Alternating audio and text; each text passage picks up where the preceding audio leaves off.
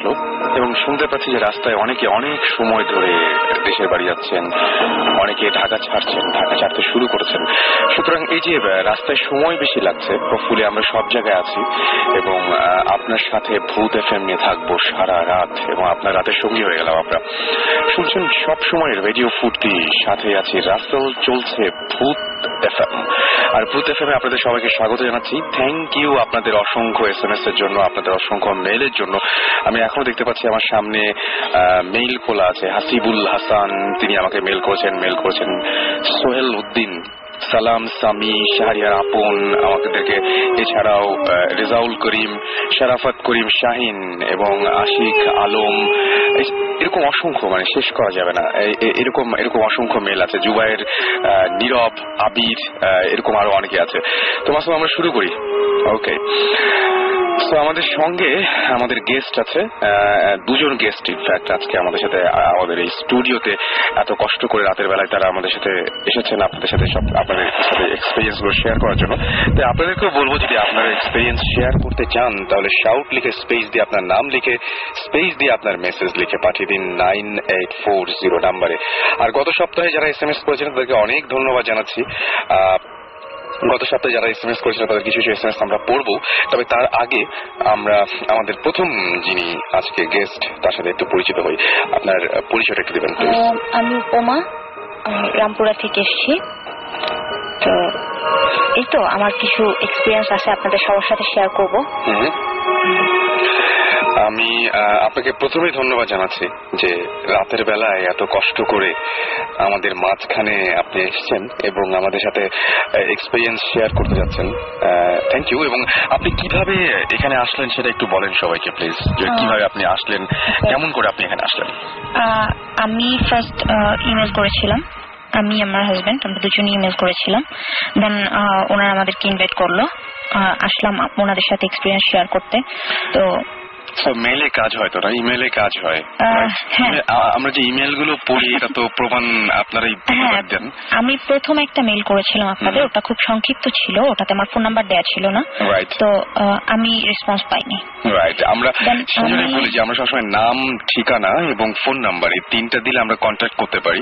আমি এই ফাঁকে একবার বলেও দেই যে Bhoot F M B H double O T Bhoot F M at the rate radio Foorti dot F M এখানে আপনি যদি আমাদেরকে ইমেল করেন। আপনাদের বড় যে সমস্ত গল্প বা কাহিনী যেগুলো আছে, সেগুলো অবশ্যই নাম এবং ফোন নাম্বার সহ আপনি ইমেল করতে পারেন।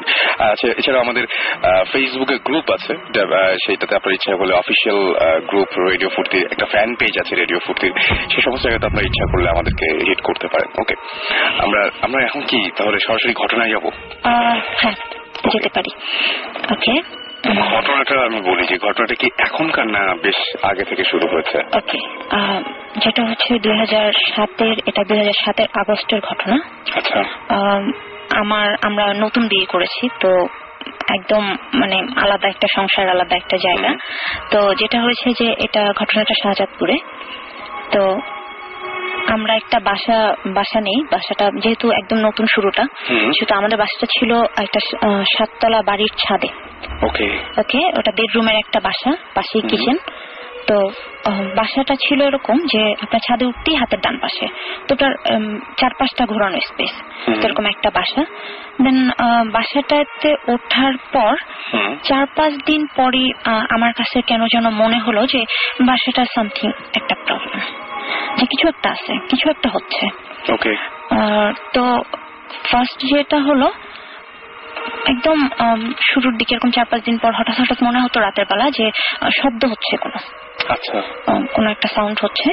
তো শব্দটা একদম মানে কখনো কখনো খুব জোরে কখনো কখনো আসতে আহ, আবার কখনো কখনো মনে হতো যে ছাদে হচ্ছে কখনো মনে হতো নিচে হচ্ছে। তো আহ, একটা পর্যায়ে ওটা অতটা গুরুত্ব দিইনি। যে হতেই পারে। এরকম তো, হতেই পারে, হ্যাঁ এরকম। হতেই পারে। তো এরপরে মোটামুটি ওখানে থাকার প্রায় পনেরো বিশ দিন পরের একটা ঘটনা বলি যেটা আমি মেলে আপনাকে লিখেছিলাম। ঘটনাটা হচ্ছে এরকম যে একদিন রাতের বেলা আমরা সাধারণত একটু দেরি করেই ঘুমাই। তো ওই দিন রাতে বোধহয় দেড়টার দিকে ঘুমোতে গেছে আমি ঘুমিয়ে গেছি। আহ, তো আমার হাজবেন্ড ও যেটা করল যে রাত আড়াইটার দিকে আমি ও আমাকে দেখলাম খেলতেছে। ছাদ যে উপ উঠো উঠো কিছু একটা প্রবলেম তো আমি উঠে বসছি যে, কি ব্যাপার? তো বলতেছে যে কিছু একটা শব্দ করতেছে, একটু খেয়াল করে শোনো। তো আমি খুব খেয়াল করে শুনতেছি এখন যে হ্যাঁ ছাদে খুব শব্দ হচ্ছে। আচ্ছা। যেহেতু আমাদের একদম ছাদের Right. জানালা খুললেই মানে আপনাদের আপনাদের ছাদে না? মানে আপনাদের সামনে যে ছাদের খোলা যে অংশটুকু সেখান থেকে অংশ। ওকে তো খুব শব্দ হচ্ছে। মানে শব্দটা এরকম যে একবারে মানে ভেঙে চুরে নিয়ে যাচ্ছে এরকম একটা অবস্থা। তো ওইখানে সম্ভবত পাখির একটা খাঁচা ছিল। আচ্ছা। আমাদের জানালার বাইরে। আচ্ছা। তো ওটা বাড়িওয়ালা বা কারও। তো আমি ফার্স্ট ভাবছি যে ওইটা কোন একটা হ্যাঁ সাউন্ড যে বাতাসে এটা করছে। তো আমি জানালার পাশে যে দেখলাম যে না ওরকম কিছু না।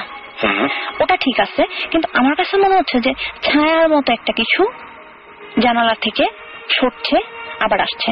দেন আমি মানে খুব ভয় পাইছি সোজা কথা। কারণ তখন আমার আরও হ্যাঁ, চার পাঁচ বছর আগের কথা হ্যাঁ, তো। খুব ভয় পাইছি। তো আমি মোটামুটি দোয়া কালাম যা জানি এগুলো পড়তেছিলাম। আচ্ছা। এরকম একটা অবস্থা। তো এরপরে যেটা হলো যে আমি মোটামুটি আমরা দুজনই সারাটা রাত এই মানে বিভৎস সব শব্দ।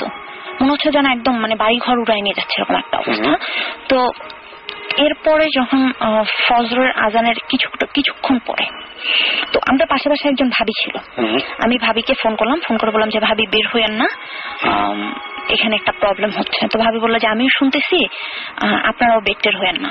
আর আমি তো খুব ভয় পাইতেছি। আচ্ছা। তো আমি বললাম যে ঠিক আছে আপনি জাস্ট বের হইয়েন না।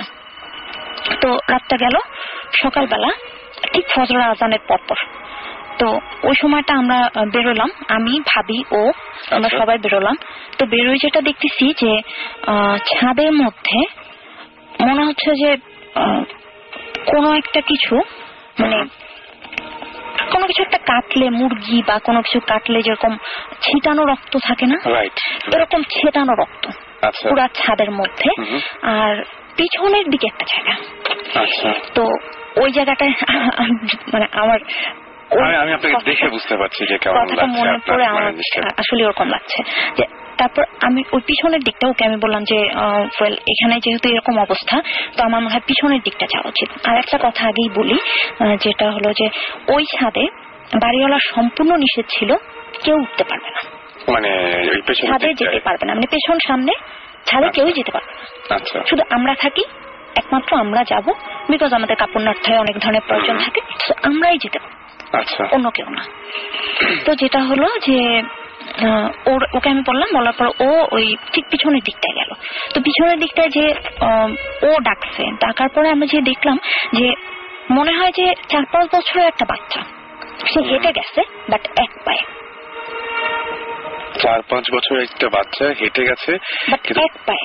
মানে পায়ের ছাপটা এরকম যে একটা মানুষ হেঁটে গেছে। হ্যাঁ, এবং তার পায়ের। ছাপটা খুব ছোট ছোট।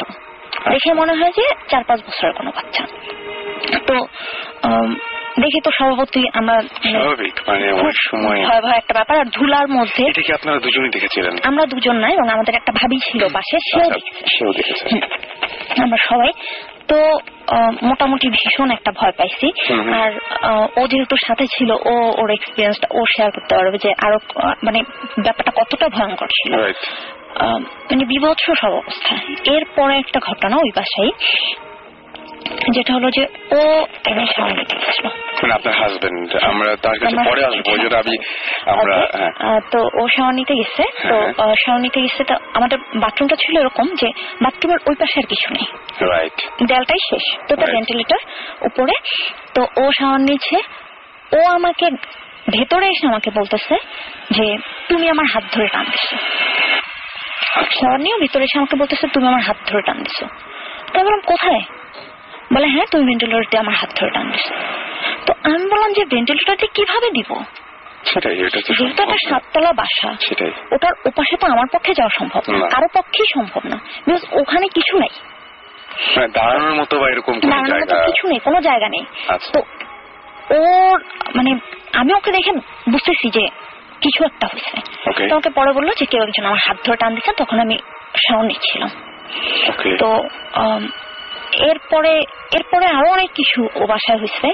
অনেক ঘটনা। যেমন এমন হয়েছে যে ঘুমায় আসছি দরজার সিটকিনি বন্ধ করে। উঠে দেখি দরজা খোলা।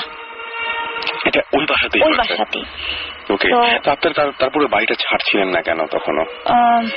আসলে ওই বাসাটা আমরা ছয় মাসের মতো ছিলাম। মাত্র ছয় মাস। এটা অনেক কম সময় তার মানে। এই- সময়ের মধ্যে অনেকগুলো ঘটনা অনেকগুলো ঘটনা। তো ওই কম সময়টা যে ছিলাম এরপরে চেষ্টা করেছি যে ওই বাসটা ছাড়ার। তো একটা সময় যেটা হলো যে আপনারা দেখবেন যে বাসটা ছাড়াটা কিন্তু একটু মুশকিলই হয়ে যায়। একটা বাসা নিয়ে ফেললে একটু মুশকিল হয় ছাড়া। তো ওই ছাড়তে ছাড়তে যতটা সময় লেগেছে। তো. আরেকটু বলি যেটা হলো যে এই প্রবলেমটা কিন্তু আমার পিছন ছাড়েনি আচ্ছা। এটা থেকেই গেছে। মানে অন্য বাসা যখন চেঞ্জ করে অন্য কোনো বাসায় হ্যাঁ। গেলেন তখনও কি তখনও আমার সাথে প্রবলেম হয়েছে আমার সাথে এবং ওর সাথে। ওকে তো আহ, আমার মনে হয় যে আমার হাজবেন্ডের কাছে যদি এর পরবর্তী ঘটনাটা শুনে আবার আমার কাছে হ্যাঁ সেটাই। আমরা আমরা আরেকজন আছেন এবং তার কাছে আমরা তার সাথে একটু কথা বলে নেই। আহ, আপনার পরিচয়টা একটু দেবেন যে জি ধন্যবাদ। আহ, আমি জাকি রামপুরা থাকি। এবং যত এতক্ষণ উপমা যে গল্পটা বলছিলেন বা ঘটনা বলছিলেন উপমার হাজবেন্ড হচ্ছে জাকি তো জাকি কি দেখেছিলেন বা জাকি ব্যাপারটা কীভাবে বুঝতে পেরেছিলেন সেটা একটু শুনি আমরা যে কি হয়েছিল আসলে ঘটনাটা। আসলে শুরু থেকে আমি কিছু কথা বলতে চাই যে আমি যে ঘটনাটা এতক্ষণ শুনলেন আপনারা এটা আমার জীবনে প্রথম। আগে কখনো হয়নি। রাইট তো এরকম মাথায় ছিল না যে এরকম আমি এরকম একটা ঘটনা ফেস করব। রাইট তো ঘটনাটা যেটা হয়েছে এর আগে আমি একটা কথা বলতে চাই হ্যাঁ। যে আমাদের যে বিল্ডিংটা হুম। বিল্ডিংটার পাশেই একটা কবরস্থান ছিল। আচ্ছা। এটা এখনও আছে এটা যেহেতু মোটামুটি বড় একটা কবরস্থান। তো ঘটনা ঘটনাগুলা ঘটার পর দেন আমার বিশ্বাস হয় যে এটা হওয়া স্বাভাবিক। আচ্ছা। যেহেতু আমার আগে কখনো হয়নি। তো আলটিমেটলি যেরকম ও বলল যে আমাদের উপমা বলল ছাদে ওঠার নিয়ম ছিল না। সম্পূর্ণ লক ছিল। কেউই উঠতো না ছাদে। আমরাও খুব একটা যেতাম না। রাতের বেলা যেটা হতো পাঁচ ছ দিন পর উঠার। পাঁচ ছ দিন পর যেটা ছাদের উপরে ছাদের উপরে একটু শব্দ হতো যেমন কেউ লাফাচ্ছে। হম হুম। আহ, এরকম ছিল। মানে ঠিক এই একই ঘটনাগুলো ঘটেছে। কিন্তু ঘটনা। কিন্তু সেম ঘটনাগুলো আপনারা দুজনেই দেখেছেন এবং আমি শুনলাম যে আপনাদের পাশের একজন ভাবি তিনিও দেখেছেন একই ঘটনা এবং ওই যে ছোট বাচ্চা ছাদের উপর দিয়ে এক পায়ে হেঁটে গেলে যেরকম এরকম পায়ের ছাপ আপনারা দেখেছেন। কিন্তু ঘটনা ঘটেছিল একটা উপমার সাথে যেটা আপনিও একজন উইটনেস রাইট মানে সেই ঘটনাটা আমাদের একটু বলবেন। সেদিন আমি বেসিক্যালি যেটা করি আমি কাজ থেকে ফেরার পর। সন্ধ্যা বা রাত হলে আমি গোসল- খুব সেরে ফেলি। তো খুব সম্ভবত সেই বাসাটাতে সেই বাসাটাতেই ইনফ্যাক্ট আমাদের রুম থেকে। বিশ গজ দূরে ফ্রেশ আচ্ছা। রুমটা আমাদের আচ্ছা ছাদের একটা একে বলা যায় একটা ছাদের এই যে একদম পাশে। তো যেখানে ও বলল যে একটা ছোট ফ্রেন্স এর মতো ছিল বড় মোটামুটি বড় হোল করার মতো তো আমি গোসল করার সময় হঠাৎ করে আমি ফিল করলাম আমার হাত ধরে কেউ টান দিছে। আচ্ছা। ইনফ্যাক্ট আমাদের যে শাওয়ারটার ঠিক শাওয়ারটার উপরেই ফেন্সটা ছিল আচ্ছা। মোটামুটি বড়। তো যেটা হয়েছে আমার মনে হচ্ছে আমি ভাবছি উপমা মাইট বি ও ফা- পান করছে। দেন আমি নর্মালি বের হয়ে গেছি। বের হয়ে যে আমি হাসতেছি ওর দিকে তাকায়। দেন আমি ওকে বলছি যে তুমি ধরছো আমার হাত ধরছো। ও নিয়ারলি অনেকক্ষণ চুপ করে থেকে বলল যে আমি ব্যাপারটা বুঝতে পারছি আমি হাত ধরি নেই তোমার। আমার মনে হয় যে এইখানে যেরকম ঘটনা গুলো ঘটতেছে এটারই একটা পুনরাবৃত্তি হয়েছে তোমার এখানে। ওকে সো আরেকটা ঘটনা আছে যেটা আপনি মেইলে আমাদের শেয়ার করেছিলেন। আপনার সাথে ভয়ঙ্কর একটা ঘটনা আছে। হ্যাঁ সেটা সেটা আমরা একটু জানতে চাই। ঘটনাটা হচ্ছে এই রমজানের মানে গত রমজানের রিসেন্ট একটা ঘটনা। যেটা হলো আমার শ্বশুরবাড়ি হচ্ছে উত্তরে। তো ওখানে গেলাম। আমার শ্বশুর শাশুড়ি ইংল্যান্ডে যাবে তো আমাদের দুজনকে রেখে যাবে পাশে এরকম একটা অবস্থা। তো থাকলাম। হঠাৎ করে একদিন রাতে মানে মাঝখানে আমার কেন যেন মনে হতো যে বিশেষ করে আমি আমরা যে রুমটাতে থাকতাম ওটা ফ্রেশ রুমে গেলে আমার কেন যেন খারাপ লাগতো। আচ্ছা। আমি কখনোই শাওয়ার নিতে গেলে আমার একটা অভ্যাস আছে যে আমি রাতে গোসলের আগে মানে ঘুমানোর আগে একবার শাওয়ার নিই। তো ওটার সময় আমি কখনোই মানে ওকে আমি বলতাম যে তুমি এখানে বসে থাকো। মানে দরজার বাইরে আমি বসে রাখতাম যে না আমার ভয় লাগছে। এরকম একটা অবস্থা। তো আহ, যেটা হলো যে ওই দিনের কথাটা বলি। রাতেবেলা মোটামুটি তিনটার দিকে। আমি একটু আগে বোধহয় শুয়েছিলাম যে বই পড়তেছিলাম। তো তিনটার দিকে আমার চোখ লেগে আসছে আচ্ছা। একটু তন্দ্রা মতো। তো হঠাৎ করে আমার মনে হলো যে কেউ একজন আমার পাশে আছে। মানে কেউ করছেন যে একজন ঘরে আমি ও ছিল তো আমার হাজবেন্ডও ছিল বাট আমার কাছে মনে হচ্ছে যে আমার পাশে কেউ একজন আছে। আচ্ছা। তো আমি চোখ খুলে তাকাইছি। তো তারপরে দেখি একটা লোক আমার স্পষ্ট মনে আছে। বিলিভ মি আমার মানে আমি একদম ঘুমেছিলাম না। আচ্ছা। একদমই আমি ঘুমেছিলাম না। আমি চোখ খুলে তাকাইছি আমি দেখতেছিলাম ও শুয়ে আছে আমি দেখতেছিলাম লোকটা বসে আছে এবং সেই লোকটা আমাকে পুরো মানে কি কীভাবে যে সে আমার দিকে তাকাইছে কীভাবে যে আমাকে ধরছে মানে আমি এটা বুঝাতে পারব না।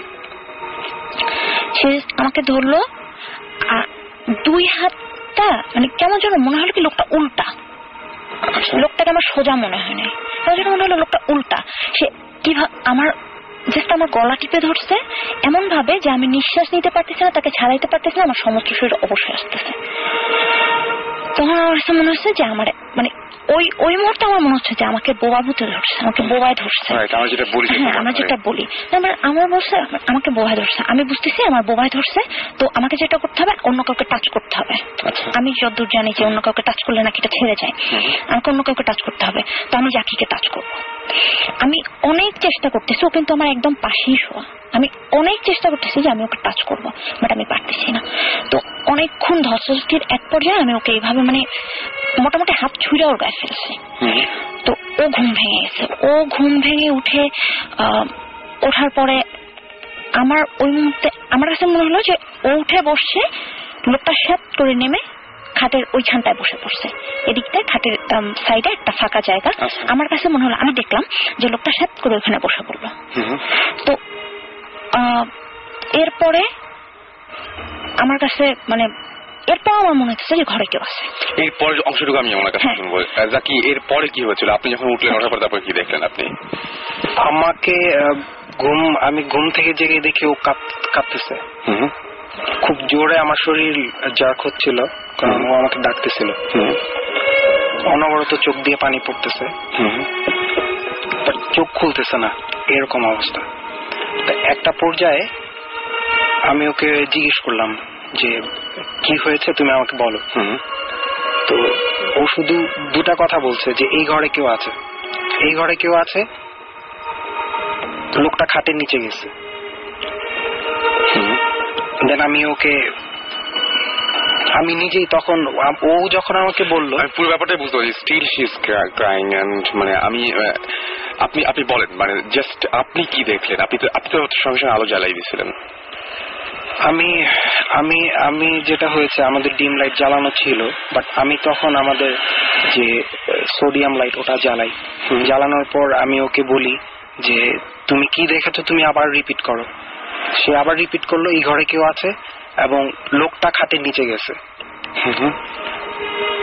তখন আমি এখন আমি বলব তখন আমি ওকে বাহবা দেওয়ার জন্য বলছি যে। এটা কোনো ব্যাপার না এটা তো ঘুমে দেখছ।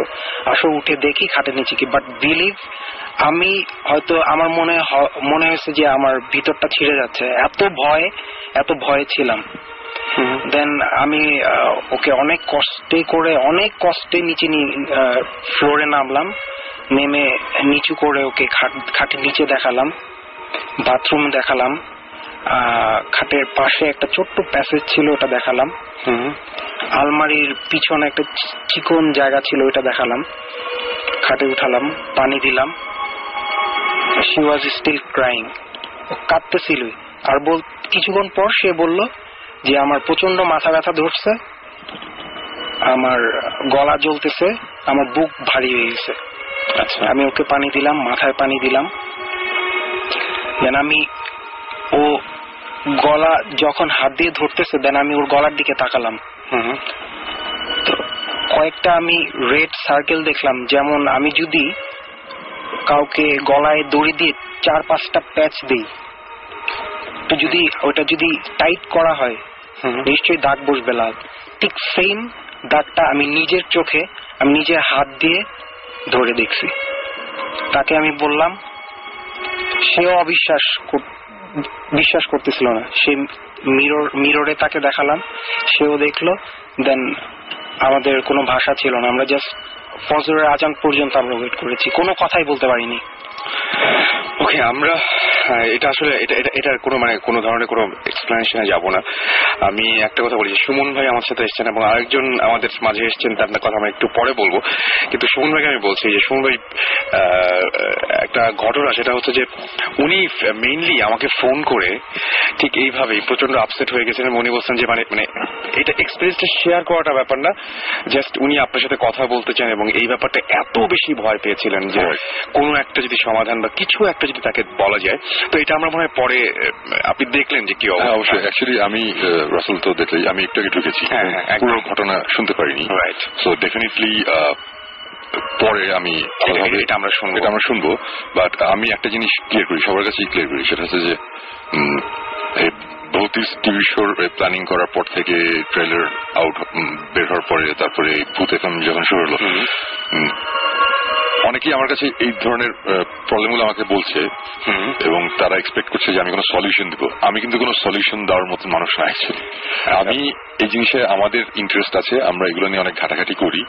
আমাদের নিজেদের কিছু আমরা নিজেরা কিছু লজিক্যাল এক্সপ্লেনেশন দেওয়ার চেষ্টা করি কিছু জিনিসপত্র আনএক্সপ্লেইন রয়ে যায়। এবং লাস্ট এই তিন চার বছরের এক্সপিরিয়েন্স থেকে আমরা কিছু জিনিস বলতে বলার চেষ্টা করি বা বোঝানোর চেষ্টা করি জিনিসটা হয়তো বা এরকম এটা এরকম করলে হয়তো বা ঠিক হবে বা ঠিক হবে না বা এরকম। সো আমাদের সাধ্যের মধ্যে যতটুকু বলার অতটুকুই আমরা বলতে পারব। আমি অ্যাকচুয়ালি পুরো ঘটনাটাও এখনও জানি না। বাট এখন পর্যন্ত আমি যতটুকু ঘটনা শুনেছি আমার কাছে খুবই ইন্টারেস্টিং একটা খুবই ব্যাপার মনে হচ্ছে সো। আজকে যদি এই তুমি যদি নাও বলতা আমি ওনাদের সাথে আবার কথা বলতাম এই ব্যাপারটা আমার কাছে খুব ইন্টারেস্টিং লাগছে ব্যাপারটা এবং এই ধরনের সিমিলার ঘটনা আমি আগে থেকে শুনেছি যে কারণে আমার কাছে খুব ইন্টারেস্টিং লাগছে। মানে এটা আনকমন কিছু না যে জিনিসটা দেখছি। আমি জাস্ট আমার জাস্ট দু একটা কোশ্চেন আছে যেগুলো আমি আপনার করতে চাচ্ছি। সেটা হচ্ছে যে যেমন ডাকটা এটা ফিফটিন মিনিটস পরে কি ছিল? এটা এর তিন দিন পর পর্যন্ত ছিল। তিন দিন পর্যন্ত ছিল? জি। ইনফ্যাক্ট আমার যে বড় বোন তাকে আমি বলেছি শুধু একটা মানুষকে আমি শেয়ার করেছি এন্ড দেন আজকে হয়তো লাখ মানুষ হাজার মানুষ বুঝতে পারছি। আরেকটা কোশ্চেন হচ্ছে যে জিনিসটা কোন টাইমে হয়েছিল? আপনার কি মনে আছে? আপনাদের টাইমটা এটা- অ্যাপ্রক্সিমেট একটা time? এটা ঠিক সেহেরির দেড় ঘণ্টা বা এক বুঝতে পারছি তিনটা হ্যাঁ। রাইট ওকে আচ্ছা আপনাকে আমি একটা কোশ্চেন জিজ্ঞেস করি। আপনি যে মানুষটাকে আহ, দেখেছিলেন তার আহ, চুল কি কার্লি ছিল? না প্লেন ছিল আপনার কি মনে আছে? না এটা মনে নেই তবে লোকটার বেশ বড় দুটো চোখ। বেশ বড় দুটো চোখ লালচে টাইপের এবং লোকটা আমার দিকে তাকাই ছিল এবং সে হাসতেছিল। আমার এটা স্পষ্ট মনে আছে এবং এই লোকটাকে আমি প্রথম না এর আগে অনেকবার দেখছি। অনেকবার দেখেছেন কি হ্যাঁ, এরকম। সিচুয়েশনে এরকম সিচুয়েশনে এবং আমি অনেকবার অনেকবার মানে মোটামুটি অনেকবার সো আমি আমি মনে হয় আমি দু মিনিট পরে কথা বলি। ওকে না আপনার ইনফ্যাক্ট এটা নিয়ে আর কথা বলতে হবে না। পরে আমি আপনার সাথে আবার এটা নিয়ে ঠিক হ্যাঁ আর রাসেলের কাছে মানে আমাদের সাথে কন্ট্যাক্ট করার উপায় রাসেল খুব ভালো। মানে সেটাই। ও আমাদের সাথে ডেফিনেটলি কন্ট্যাক্ট করতেছে আমি অ্যাকচুয়ালি আমি নিজেই ইন্টারেস্টেড ব্যাপারটা নিয়ে আরও ডিটেল শোনার জন্য। তো আজকে ভূত ফেমের পরে কোন একটা দিন আমি। আপনার সাথে একটু বসতে চাই. যদি আপনাদের কোনো অসুবিধা না। থাকে আপনারা যদি চান বসতে তাহলে।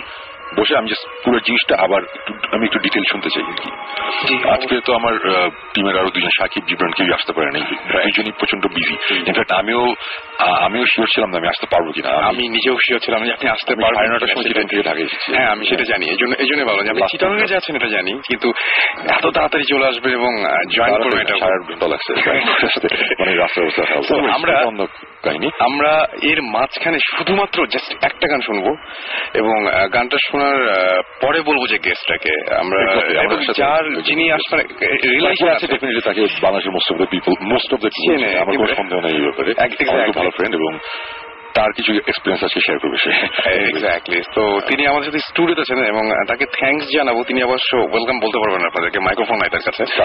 হ্যাঁ সেটা গান গেয়ে গিয়ে কিছু একটা বলে দিক। মানে এই অনেক গান আছে তাই না? বন্ধু তারপরে কোনটা? যে কোনো একটা কিছু বাজালে হয় আমার মনে হয়। পূর্ণ একটা গান ছিল হ্যাঁ না বন্ধুটা আচ্ছা আচ্ছা নুপুর নিয়ে একটা ছিল। ইনফ্যাক্ট তাহলে নুপুর নিয়ে কি পরে শুনব? বন্ধু চলে এসছে আমাদের কাছে. ওকে আমরা একটা বন্ধু গানটা শুনে আসি। ইন দ্য মিন টাইম করুন আমাদের এস এম এস লিখে ফেলুন S H O U T shout space আপনার নাম স্পেস আপনার মেসেজ পাঠিয়ে নাইন এইট ফোর জিরো নাম্বারে শুনে আসব বন্ধু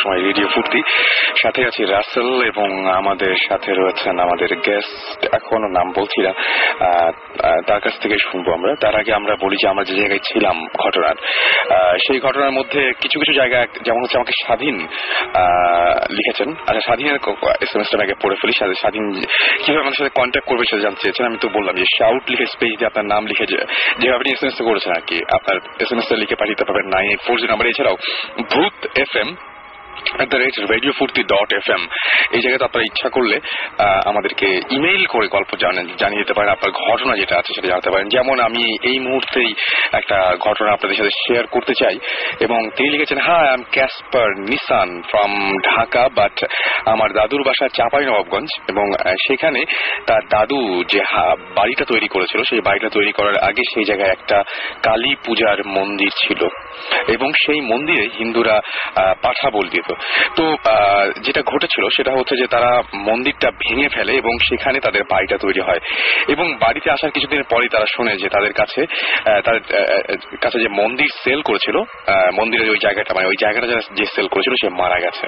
এবং এরপর থেকে অদ্ভুত অদ্ভুত সব ঘটনা ওই ওই বাসাটা নিয়ে হয়। তার নানা ধরনের প্রবলেম হতে থাকে এবং তার তিনি যেটা বলছেন যে তার এক খালা তার আচ্ছা তার কাজের মেয়ে স্বপ্ন দেখে যে অনেকগুলো সাদা শাড়ি পরা মেয়ে মাথায় সিঁদুর দেয়া এবং তাদের সামনে একটা বয়স্ক বুড়ো লোক, এরকম এরকম মানে অনেক অদ্ভুত টাইপের স্বপ্ন দেখতে থাকে এবং সে অনেক অদ্ভুত আচরণ করতে থাকে। এরপরে দেখা যায় তারা তাদের বাড়িতেও তাদের বাড়িতেও দেখা যায় যে তাদের বাড়িতে কোনো কাক বসে না, কোনো প্রাণী বসে না। আশেপাশে সব জায়গাতে হয়তো পাখি, কাক এ সমস্ত আছে। তাদের বাসায় এ ধরনের কোনো প্রাণী বা পাখি কিছুই বসে না।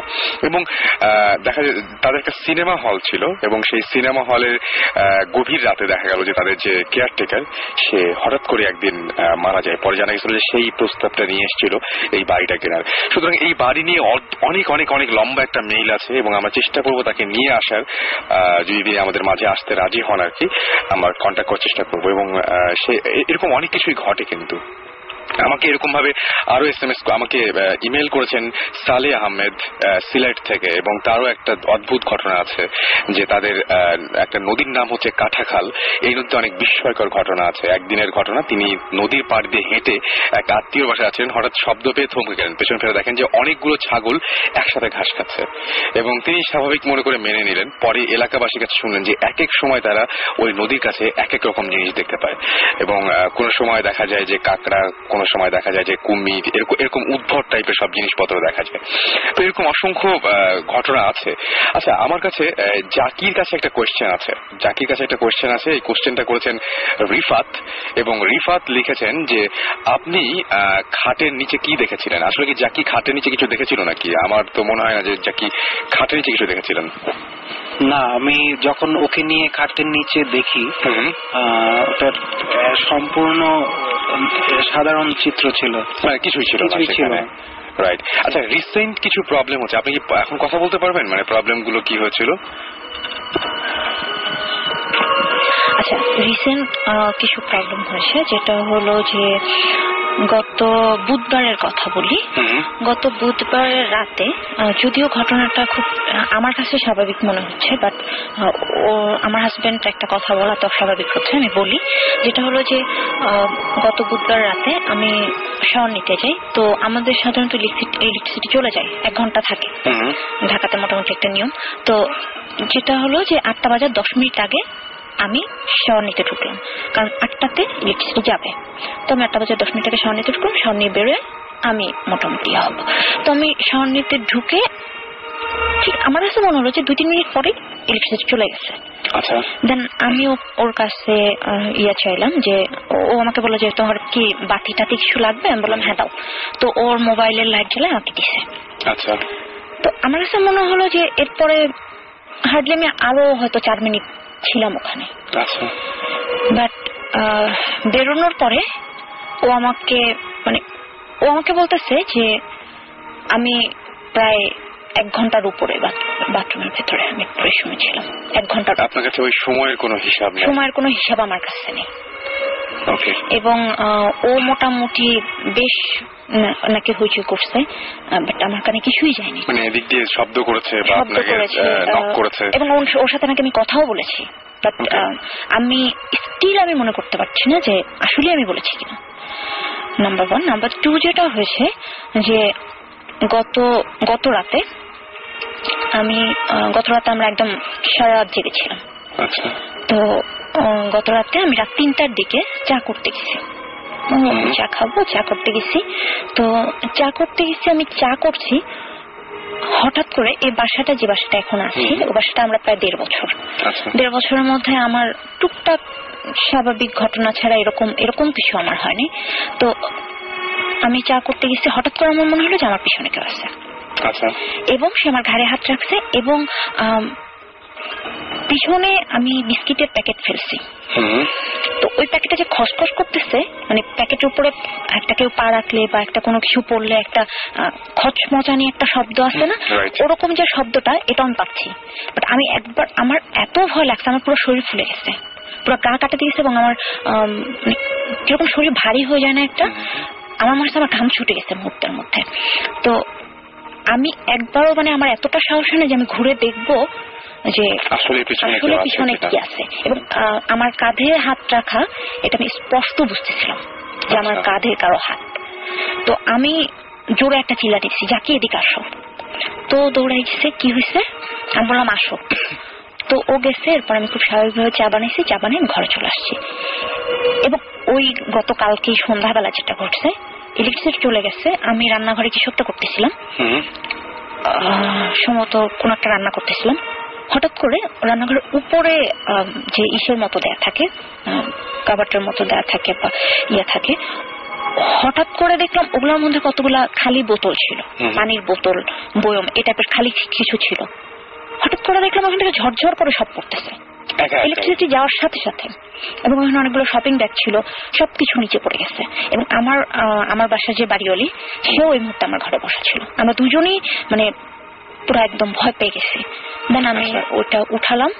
খুব স্বাভাবিকভাবে কারেন্ট আসার পর আমি ওটা উঠালাম আর কোনো ধরনের কোনো প্রবলেম আচ্ছা খুব একটা অদ্ভুত ব্যাপার খুবই অদ্ভুত ব্যাপার যে আপনার এই প্রবলেমগুলো আছে। আমি এর আগেও একজনের সাথে কথা বলেছিলাম যিনি কিনা এই যে তান্ত্রিক টাইপের অথচ আপনি প্রচুর ব্ল্যাক পরেন আপনার টিপ ব্ল্যাক আপনার ড্রেসের মধ্যে অনেক ব্ল্যাক আছে। আপনি কি মানে ব্ল্যাক কি বেশি পরেন হ্যাঁ আমি ব্ল্যাক খুব বেশি পরি এবং আমার মানে যদি দশটা ড্রেস আমার থাকে তার মধ্যে নয়টাই হচ্ছে ব্ল্যাক এক্স্যাক্টলি আমি এটা সন্দেহ করেছিলাম। এবং এই জন্যই বলছি আপনি ব্ল্যাকটাকে অ্যাভয়েড করতে পারেন? ব্ল্যাক এবং আমাকে একজন কি বলে আমাকে একজন আমার ওর খুব ক্লোজ একজন ফ্রেন্ড আছে যে এগুলা নিয়ে একটু পড়াশোনা আছে। আমাকে আমি- অনেকবার বলছে যে তুমি ব্ল্যাকটা এবং আপনার ব্ল্যাকের। উপরে কি আকর্ষণ আছে? মানে ব্ল্যাকের উপরে তীব্র একটা আকর্ষণ আছে। আমি যা কিছু কিনতে যাই আমার কাছে মনে হয় কি ঘুরে ফিরে ওই ব্ল্যাকটা ব্ল্যাকের দিকে চোখ পড়ে। আপনার বাসা থেকে ব্ল্যাক যা কিছু আছে একটু মানে বিশেষ করে ড্রেস এটা এবং আরেকটা জিনিস আমি শুনেছিলাম এটা আপনি তো আমার একদমই শোনা কিন্তু আপনি দেখতে পারেন ট্রাই করে আমার উপকার হচ্ছিল সেটা হচ্ছে আপনি ঘুমানোর আগে একটু পারফিউম ইউজ করতে পারেন। এটা আমি সবসময় করি। এটা আপনি সবসময় করেন রাইট কালো ড্রেস এবং কালো যা কিছু আছে আপনার পাশে আশেপাশে তাহলে আমার পুরো বাসা পাল্টাতে হবে বিকজ আমার বাসায় হচ্ছে যে ম্যাক্সিমাম জিনিস ফার্নিচার থেকে শুরু করে ম্যাক্সিমাম জিনিসপত্র black black right black and white এটা কিন্তু খুব আমি জানি না তবে এটা এটা খুব মানে কি বলব হ্যাঁ এটা আমাকে টানে খুব টানে আর। আরেকটা জিনিস হলো যে এই যে পারফিউমের একটা ব্যাপার বলেন আরেকটু বলি আমি এর আগেও আপনাদের শোতে শুনেছি অনেকে বলেছে আমার সাথে যেটা হয় আমি বিয়ের পর আমার হাজবেন্ডকে অনেক বলেছি যে আমি মাঝে মাঝে কিছু গন্ধ পাই। কখনো খুব বেশি সুগন্ধ যেমন মনে হয় কি যে কিছু তাজা ফুল আমার সামনে এনে কেউ রাখছে। আচ্ছা। আমি ফুল দেখতে পাচ্ছি না বা ফুল যে আছে এটা বুঝতে পারছি না বাট তাজা ওই গন্ধটা আমি পাচ্ছি। তো হঠাৎ করে মানে আর এমন সব জায়গায় যেখানে তাজা ফুলের প্রশ্নই ওঠে না। লাইক আমি এখানে বসে আছি এখানে তাজা ফুলের গন্ধ খারাপ যে গন্ধটা সেটা কীরকম পান? খারাপ গন্ধটা যেমন আজকে আপনাদের সিঁড়ি থেকে আমি যখন উঠতেছি তখন আমার কাছে মনে হচ্ছে কি যে কেউ পলিথিন অথবা তার পড়াচ্ছে আমি। ওকে বলতেছিলাম যে তুমি কি গন্ধটা পাচ্ছ?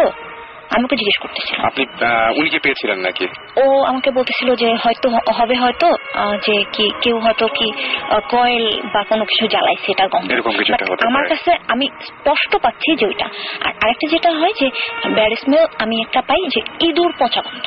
ইঁদুর পচা গন্ধ। মানে কোনো কিছু কোনো এনিমাল কোনো মারা টারা গেলে একদম বাজে একটা গন্ধ হয় না। ওরকম একটা গন্ধটা এতই তীব্র যে আমি মাঝে মাঝে অকারণে আমি বমি করি। আমাকে জিজ্ঞেস করে কি হয়েছে? আমি গন্ধ পাচ্ছি। অকারণেই করছি বিশেষ করে পোড়া গন্ধ পাওয়াটা এটা খুব একটা মানে অদ্ভুত পোড়া গন্ধটা আমি খুব কমই পাই।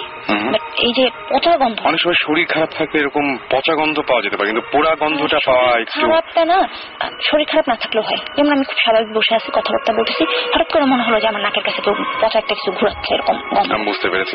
ওকে আমরা একটা যেটা কাজ করি আমরা অনেকক্ষণ ধরেই আমরা শুনলাম এগুলো এবং আপনাকে আর কষ্ট একটা মিনিট একটা কথা বলব। যেটা হলো যে আমার হাজবেন্ডের সাথে এই প্রবলেমগুলো যে শুরু হয়েছে মানে আমার সাথে শুরু হয়েছে অনেক আগে। এবং আমার বিয়ের পর থেকে মানে আমাদের বিয়ের পর থেকে ওর সাথে প্রবলেমগুলো শুরু হয়েছে। আচ্ছা এখন উনি হচ্ছে উনি নিজেও ভিকটিম ও নিজেও ভিকটিম আর ওর আরেকটি জিনিস যেটা হয় ওর শরীরে কিছু আঁচড়ের দাগ এক্স্যাক্টলি ওর শরীরে হ্যাঁ, এবং আঁচড়ের দাগ হয় যেটা হয় যে আপনি আপনার শরীরে উপর থেকে নিচে আঁচড় দিতে পারবেন নিচ থেকে উপরে না। রাইট সত্যি না? তো ওর শরীরে এরকম দাগ হয়। মানে এমন দাগ যে রক্ত বের হয়ে আসবে এখনই। এরকম আচর।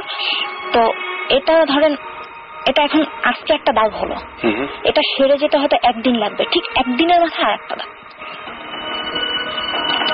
তাজা এবং নতুন। যেটা কোনো ধরনের কোনো ব্যথা না কোনো যন্ত্রণা না কিছু না। রক্ত জমা হয়ে আছে একটা দাগ। হুম, আর ম্যাক্সিমাম দাগগুলো হয় তিন আঙ্গুল। অথবা এক আঙ্গুল। আমি ওর শরীরে একটা দাগি দেখছি যেটা চার আঙ্গুলের। ওকে এটা হচ্ছে আমি ওনার কাছে যাই তাহলে।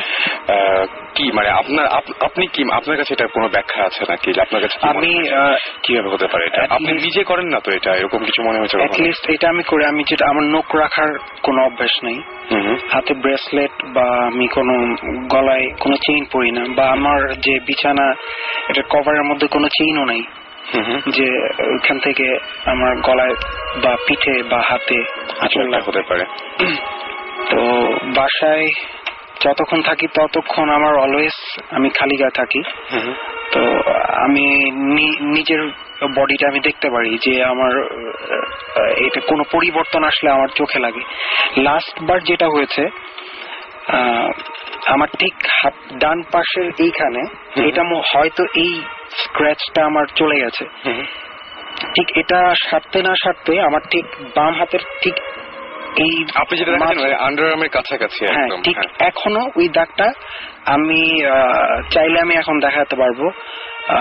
এখনও দাগটা আমার আছে। আমি ঘুম থেকে উঠছি উঠার পর ও আমাকে আমার দিকে তাকায় আছে কি হয়েছে? বলে যে তোমার হাতে দেখো।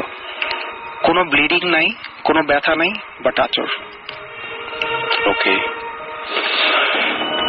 ওকে আমরা আবারও এই প্রসঙ্গে ফিরে আসতে চাই।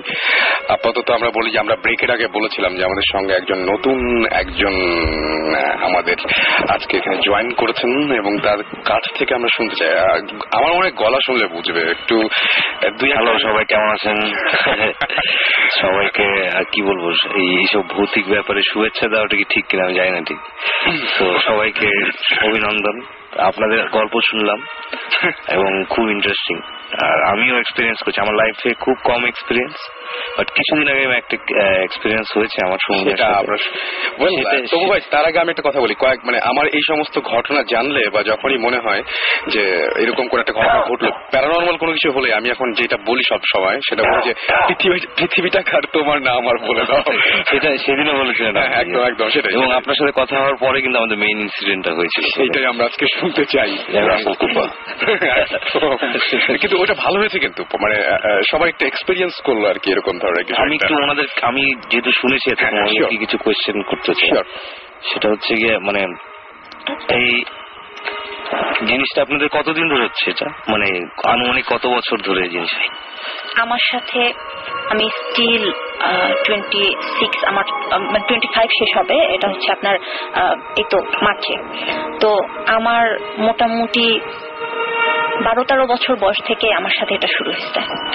এবং এটা শুরু হয়েছে আমার বাবার বাড়ি থেকে। আলটিমেটলি ওখান থেকেই শুরু হয়েছে। কেন শুরু হয়েছে এটা কি আমি বলব? হ্যাঁ, এটা কি বলা হয়েছে একবার? না এটা বলা আচ্ছা তাহলে একটু বললে শুরুটা হয়েছে এই জন্য যে আমার বাবা একটা বাড়ি কিনেছে।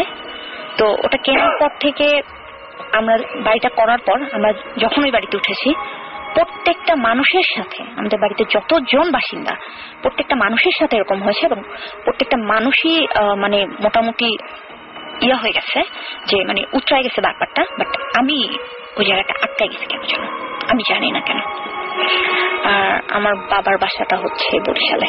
বরিশালে? আমার নানা বাড়ি বরিশাল। তো মিলে গিয়েছে আমি আহ, কি বলব এটা আমাদের ওই ফ্যামিলিটাকে একটা কঠিন পরীক্ষার মধ্যে দিয়ে যেতে হয়েছে এবং স্টিল যেতে হচ্ছে। ওকে। তো আমি জানি না আমার বাবা মা হয়তো যদি আহ, কোনো চান্স দিত সেক্ষেত্রে আমি অবশ্যই সুমন ভাইকে বলতাম যে আসেন আমার বাবার বাড়িতে দেখে যান। কিন্তু আমি জানি না ওরা দিবে কিনা। আমরা তো সবসময় এই ধরনের ঘটনা শোনার পর ডেফিনেটলি কেউ যদি আমাদের বলে তখনই আমরা সেটাই। হ্যাঁ, যেটা হয় এখনও হয় যে ওদের বাসায় কেউ হাঁটতেছে সে দরজা খুলতেছে নামতেছে পানি ঢালতেছে গোসল করতেছে। মানে এটা প্রতি রাতে এবং প্রতিটা মানুষ শুনতেছে। আমি আপনাদের এই ঘটনা যত শুনছি ততই অ্যাকচুয়ালি আমি অনেক বেশি আরও বেশি ইন্টারেস্টেড হয়ে যাচ্ছি ব্যাপারটা নিয়ে। সো ডেফিনেটলি আমি আপনাদের সাথে পরে কোনো একদিন অবশ্যই আমি কথা বলব এই ব্যাপারটা নিয়ে। আর তিন আঙ্গুলের খামচির ব্যাপারটা এই দাগের ব্যাপারটা, এটা এটা খুবই কি বলব, খুবই ইন্টারেস্টিং খুবই অ্যামেজিং আমি আপনাকে ডিসবিলিভ করছি না। আমি বলতে যাচ্ছি এই- কারণে, এই জিনিস আমি নিজে উইটনেস করেছি, আমি দেখেছি। তিন আঙ্গুলের ব্যাপারটা। আমরা সিলেটে গিয়েছিলাম। ইনভেস্টিগেশনে যেটা নিয়ে রাসেল অনেক আগে আমরা একবার কথা বলেছিলাম, জুজু। একদম ওই যে কৌশিকটা বললেন ইন্ডিয়ার ঘটনা আপনি বললেন যে না সিলেটে এরকম একটা এবং ইন্ডিয়ার বর্ডারে সো জিনিসটা অ্যাকচুয়ালি ওই একই এরিয়াতে সো ওইখানে আমরা তিনবার গিয়েছি এক মাসের মধ্যে এবং প্রতিবারই আমরা তিন আমরা মোট নয় দিন ছিলাম। তিন দিন তিন রাত তারপরে আবার একটা ব্রেক আবার তিন রাত আবার একটা ব্রেক লাস্ট তিন রাতের থার্ড ডেতে মানে নাইন্থ ডেতে নাইন্থ নাইট অ্যাকচুয়ালি কিছু ইনসিডেন্ট হয় আমাদের টিমেরই যেটা আমরা হোপফুলি টিভিতে সবাই দেখবে। বাট তার আগে আমরা তেমন কিছুই পাচ্ছিলাম না ওখানে বাট ওটার সবচেয়ে ইন্টারেস্টিং ব্যাপার যেটা ছিল সেটা হচ্ছে যে একটা রুমের স্পেসিফিক একটা রুমের দরজার বাইরে সকালবেলা আমরা আচরের দাগ পেয়েছিলাম এবং এটা হচ্ছে তিন আঙ্গুলের। এবং আমি জানি না আপনার দাগটা কীরকম বাট ওটা হচ্ছে প্রচণ্ড সূক্ষ্ম মানে অ্যাজ ইফ শুয়ের মতন। একটা নখ গুলোকে যদি আমি অনেক চিকন করে অনেক চিকন করে অথবা শার্পনার দিয়ে যদি পেন্সিলের মতন শার্প করতে পারি অথবা আলপিন দিয়ে যদি হ্যাঁ। টানটা দেওয়া যায় এরকম ব্যাপারটা অনেকটা ওরকম ছিল। এবং তারপরে পরে আমাদের কিছু ইনসিডেন্ট ওখানে হয় যেটা আমি এখানে বলছি না বিকজ আমাদের কিছু ব্যাপার আছে রাসাল হ্যাঁ, জানি সবাই জানে যে আমরা সবকিছু এখনই রিভিল করতে পারছি না আমাদের টিভি শোয়ের কারণে। বাট আমাদের বেশ কিছু ইনসিডেন্ট হয়েছিল। হ্যাঁ এবং এই তিন আঙ্গুলের ব্যাপারে আমাদের ইনসিডেন্ট আছে আর কি অনেক। সো এই কারণেই আমার কাছে আরও ইন্টারেস্টিং লাগছে যে আমরা এই লাস্ট দেড় বছর ধরে অনেক জায়গায় ঘুরছি অনেক কিছুর আমরা অনেক ঘটনা শুনেছি যেমন এই গন্ধের ব্যাপারটা তো খুবই কমন মাসখানেক আগে একজন আমার সাথে যোগাযোগ করেছিল এবং সে বলেছিল যে তার পাশে এরকম এই সেম প্রবলেমটা হচ্ছে এই গন্ধের ব্যাপারটা। এবং এর আগে আমরাও অনেক জায়গায় গিয়ে গন্ধ পেয়েছি বাট আমি পার্সোনালি আমরা যেই গন্ধের যেই এক্সপিরিয়েন্সটা হয়েছে আমাদেরটা একটু উইয়ার্ড এখনও পর্যন্ত আমরা বলে বুঝাতে পারিনি কাউকে গন্ধটা কিসের ছিল। আপনারা তো তাও ডিফাইন করতে পারছেন। আমরা এখনও পারছি না। আমি তবুকে বলেছি যে বাজে একটা গন্ধ বাট গন্ধটা যে কিসের এটা বোঝা যাচ্ছে না। এটা ঠিক বলে বোঝাতে পারব না।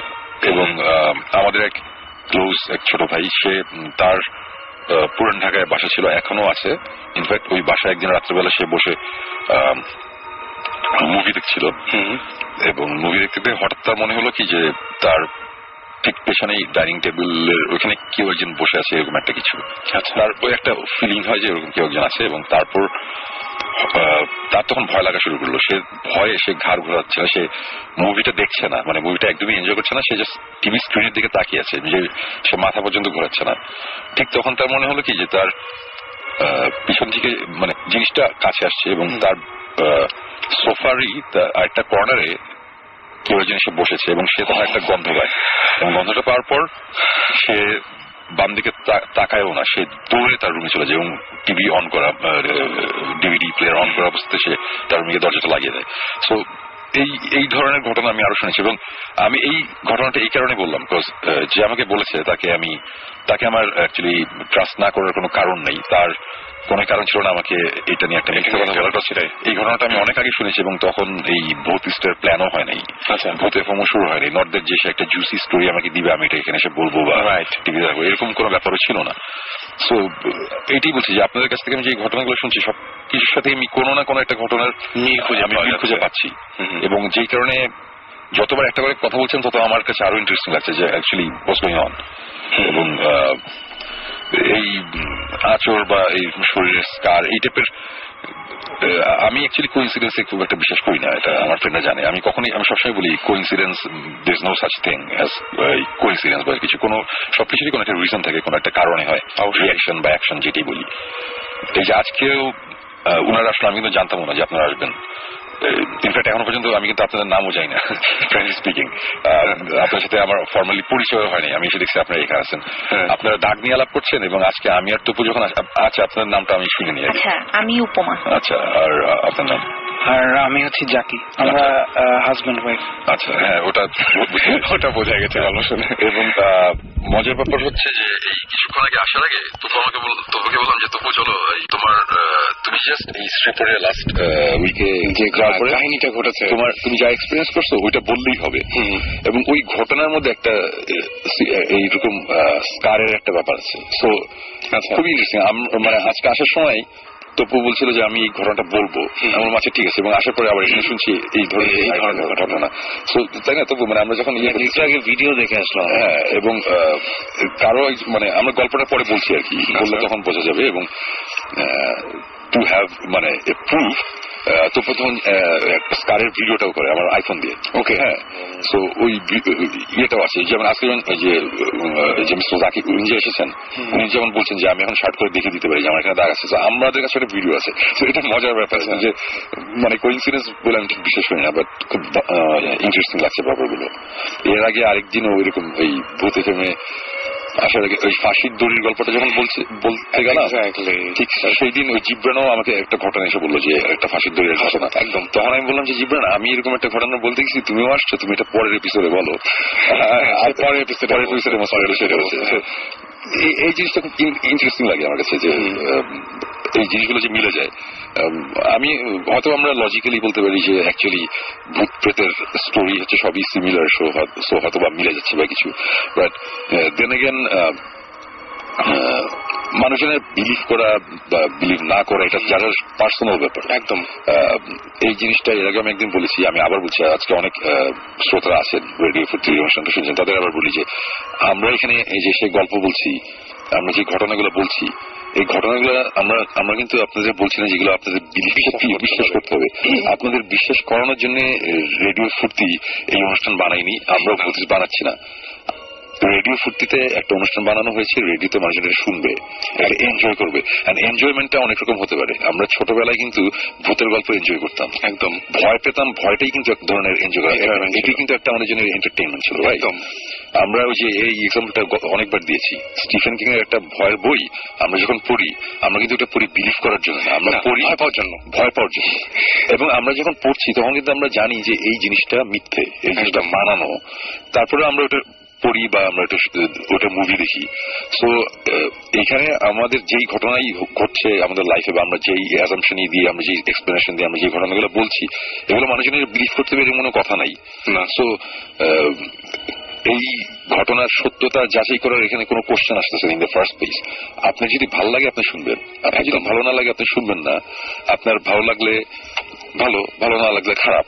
আমার জন্য। আমরা right? Right, ব্যাপারটা হচ্ছে ওটাই। কিন্তু দেন এগেন আমি আজকে এই যে এখানে যে উপমা সে বসে আছে উনি যে আমাদের কথা বলছে কথা বলতে বলতে আমি দেখেছি ওনার চোখে পানি চলে এসেছে। আপনারা যে যত যাই বলেন আপনারা যে যত যাই বলেন, এই চোখের পানি এত সস্তা না। এগুলা এত সহজে একটা মানুষ দিয়ে দেয় না। হ্যাঁ একদম কোনো কারণ থাকে।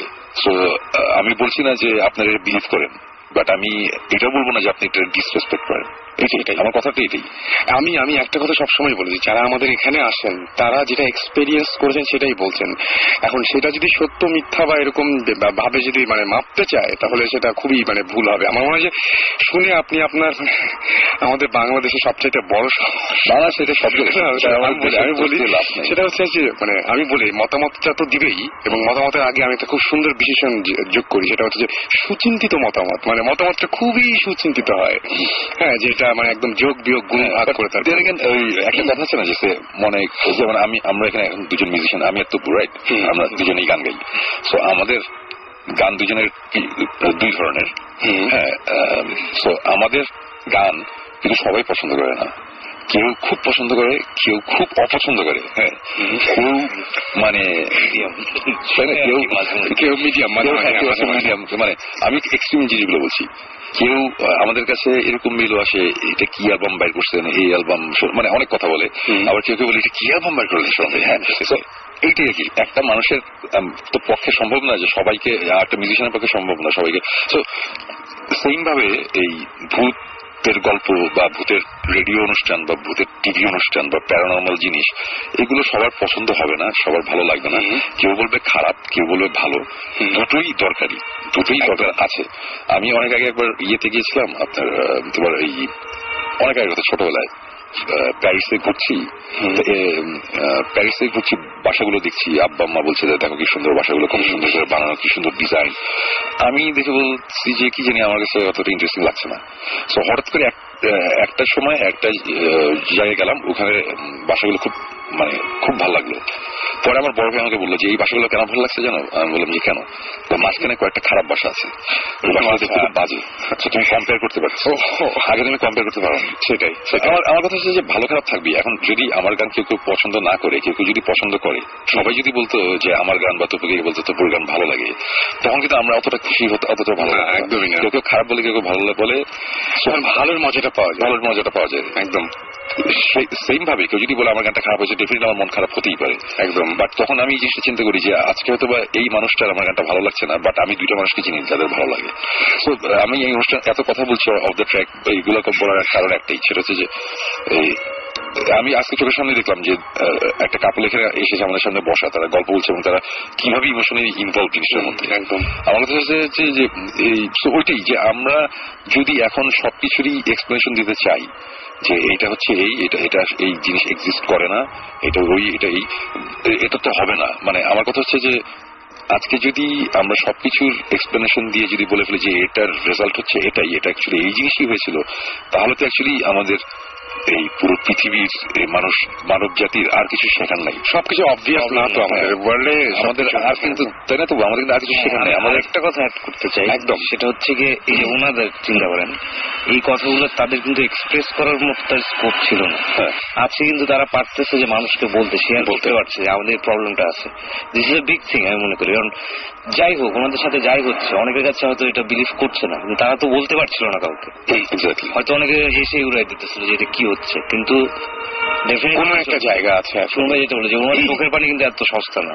সেটাই। ওনার ওই ফিলিংসটা আসছে দেখে ওই বাজে খারাপ ভাবটা আসছে দেখে তার চোখের পানি আসছে। তো আমাদের এটা একটু মানে if we can share and যদি চিন্তা করি তাহলে মনে করি যে যে প্রবলেম হোক সলভ করা সম্ভব। সেটাই আমার আমাদেরও কথাটা সেটাই। এবং আমি বলব, যারা আপনারা এস এম এস করে আপনাদের ঘটনাগুলো জানাতে চান, তারা শাউট লিখে স্পেস দিয়ে আপনার নাম লিখে স্পেস দিয়ে আপনার মেসেজ লিখে পাঠিয়ে দিন। এইট ফোর জিরো নম্বরে রবিন লিখেছেন যে, তার কাছে খুব ভালো লাগছে এবং তিনি ভয়ে ঠান্ডা হয়ে গেছেন। আচ্ছা আমরা ভয়টুকুই চাই আসলে যে ভয়টুকু আপনাদের ভালো ভয় পেলে ভালো অসুবিধা সেটাই। বিদ্যুৎ গুলশান থেকে লিখেছেন আমাদের আজ আপনাদের প্রোগ্রামটা এনজয় করে থার্সডে নাইটে করা যায় কিনা। আমাদের তো ইচ্ছা যে প্রতিদিন করব। আপনারা কি বলেন? মারুফ লিখেছেন যে সরি দিস ইজ আচ্ছা তিনি বলছেন যে দিস ইজ ডেভিল অর জিন আচ্ছা তিনি আপনাকে যেটা যেটা উপমাকে তিনি একটা ইয়ে করেছেন অ্যাডভাইস করেছেন যে, আপনি মাথার কাছে কোরআন রাখতে পারেন, কোরআন শরীফ কোরআন শরীফ রেখে ঘুমাতে পারেন। আমাদেরকে উস্কানি নামে একজন এস করেছেন এবং তিনি বলছেন যে, আয়তাল কুরসি পড়তে মানে যখন ঘুমাবেন, ঘুমানোর আগে। আর আমি বললাম যে, কালো ড্রেস একটু কম কম পরবেন। যাই হোক, আপনারা যারা এখনও আমাদের এস এম এস করেননি, ইচ্ছা করলে আমাদের সাথে এস এম এস করে শেয়ার করতে পারেন। শাউট লিখে স্পেস দিয়ে আপনার নাম লিখে স্পেস দিয়ে আপনার মেসেজ লিখে পাঠিয়ে দিন। এইট ফোর জিরো নম্বরে Bhoot F M at the rate radio Foorti dot F M এখানে আপনারা ইমেল করে আপনাদের যে ঘটনাগুলো আছে, সেই ঘটনাগুলো আপনারা বলতে পারেন এবং গান যেহেতু আপনারা খুব হেট করছেন ইদানিং, বুঝতে পারছি। সুতরাং আমরা তপু হয়ে গেছে, চলে আসি। অবশ্যই গান নিয়ে না, ঘটনা শুনি। আচ্ছা ঘটনা। সেটা হচ্ছে সুমন ভাই আমাদের বাসায় আজকে চার বছর হয়ে গেছে। তো এবং ওনার উনি খুব শীঘ্রই উনি চেঞ্জ করবেন আর কি নিজের বাসায় গিয়ে উঠবেন আচ্ছা। ওনার সাথে এই দীর্ঘ চার বছরে ওনার শ্রীপুরের বাসার যেই কাহিনী শুনেছি ওনার ওখানে মিউজিক হোক বা এইসব এক্সট্রা আমি আমি এখানে একটা ইন্টারাপ্ট করি দুপুকে সেটা হচ্ছে যে এই এই সুপুরে আমাদের একটা বাংলো আছে রাইট সো ওখানে আমরা যাই। ওখানে আমরা মাঝে গিয়ে থাকি। কেউ কেউ বলে এই বাসটা হন্টেড কেউ কেউ বলে কিছু না। কয়েকদিন আগে একজন আমাকে বলেছে যে যে ভূত এফ এম এর আহ, ইয়ে চ্যানেলে কেউ একজন লিখেছে যে এই বাসায় গিয়ে আমি অনেক থেকেছি। ওখানে রাতের বেলা কুকুরের ডাক ছাড়া কিছু শোনা যায় না। এটা পুরো ভুয়া এই বাসাটার কিছু নাই। তো এবং সে ক্লেম করেছে সে আমার কোনো আত্মীয় হতে পারে আমি জানি না কে। বাট একটা জিনিস আমি বলি ওটা একটা হ্যাচারি ওটার ভিতরে কোনো কুকুর নাই ওখানে কুকুর ব্যান্ড সে যে কুকুরের আওয়াজ পেয়ে থাকে তাহলে আমি সরি টু সে ওটা হয় সে মিথ্যা কথা বলেছে আর না হলে একটু কুকুর ছিল।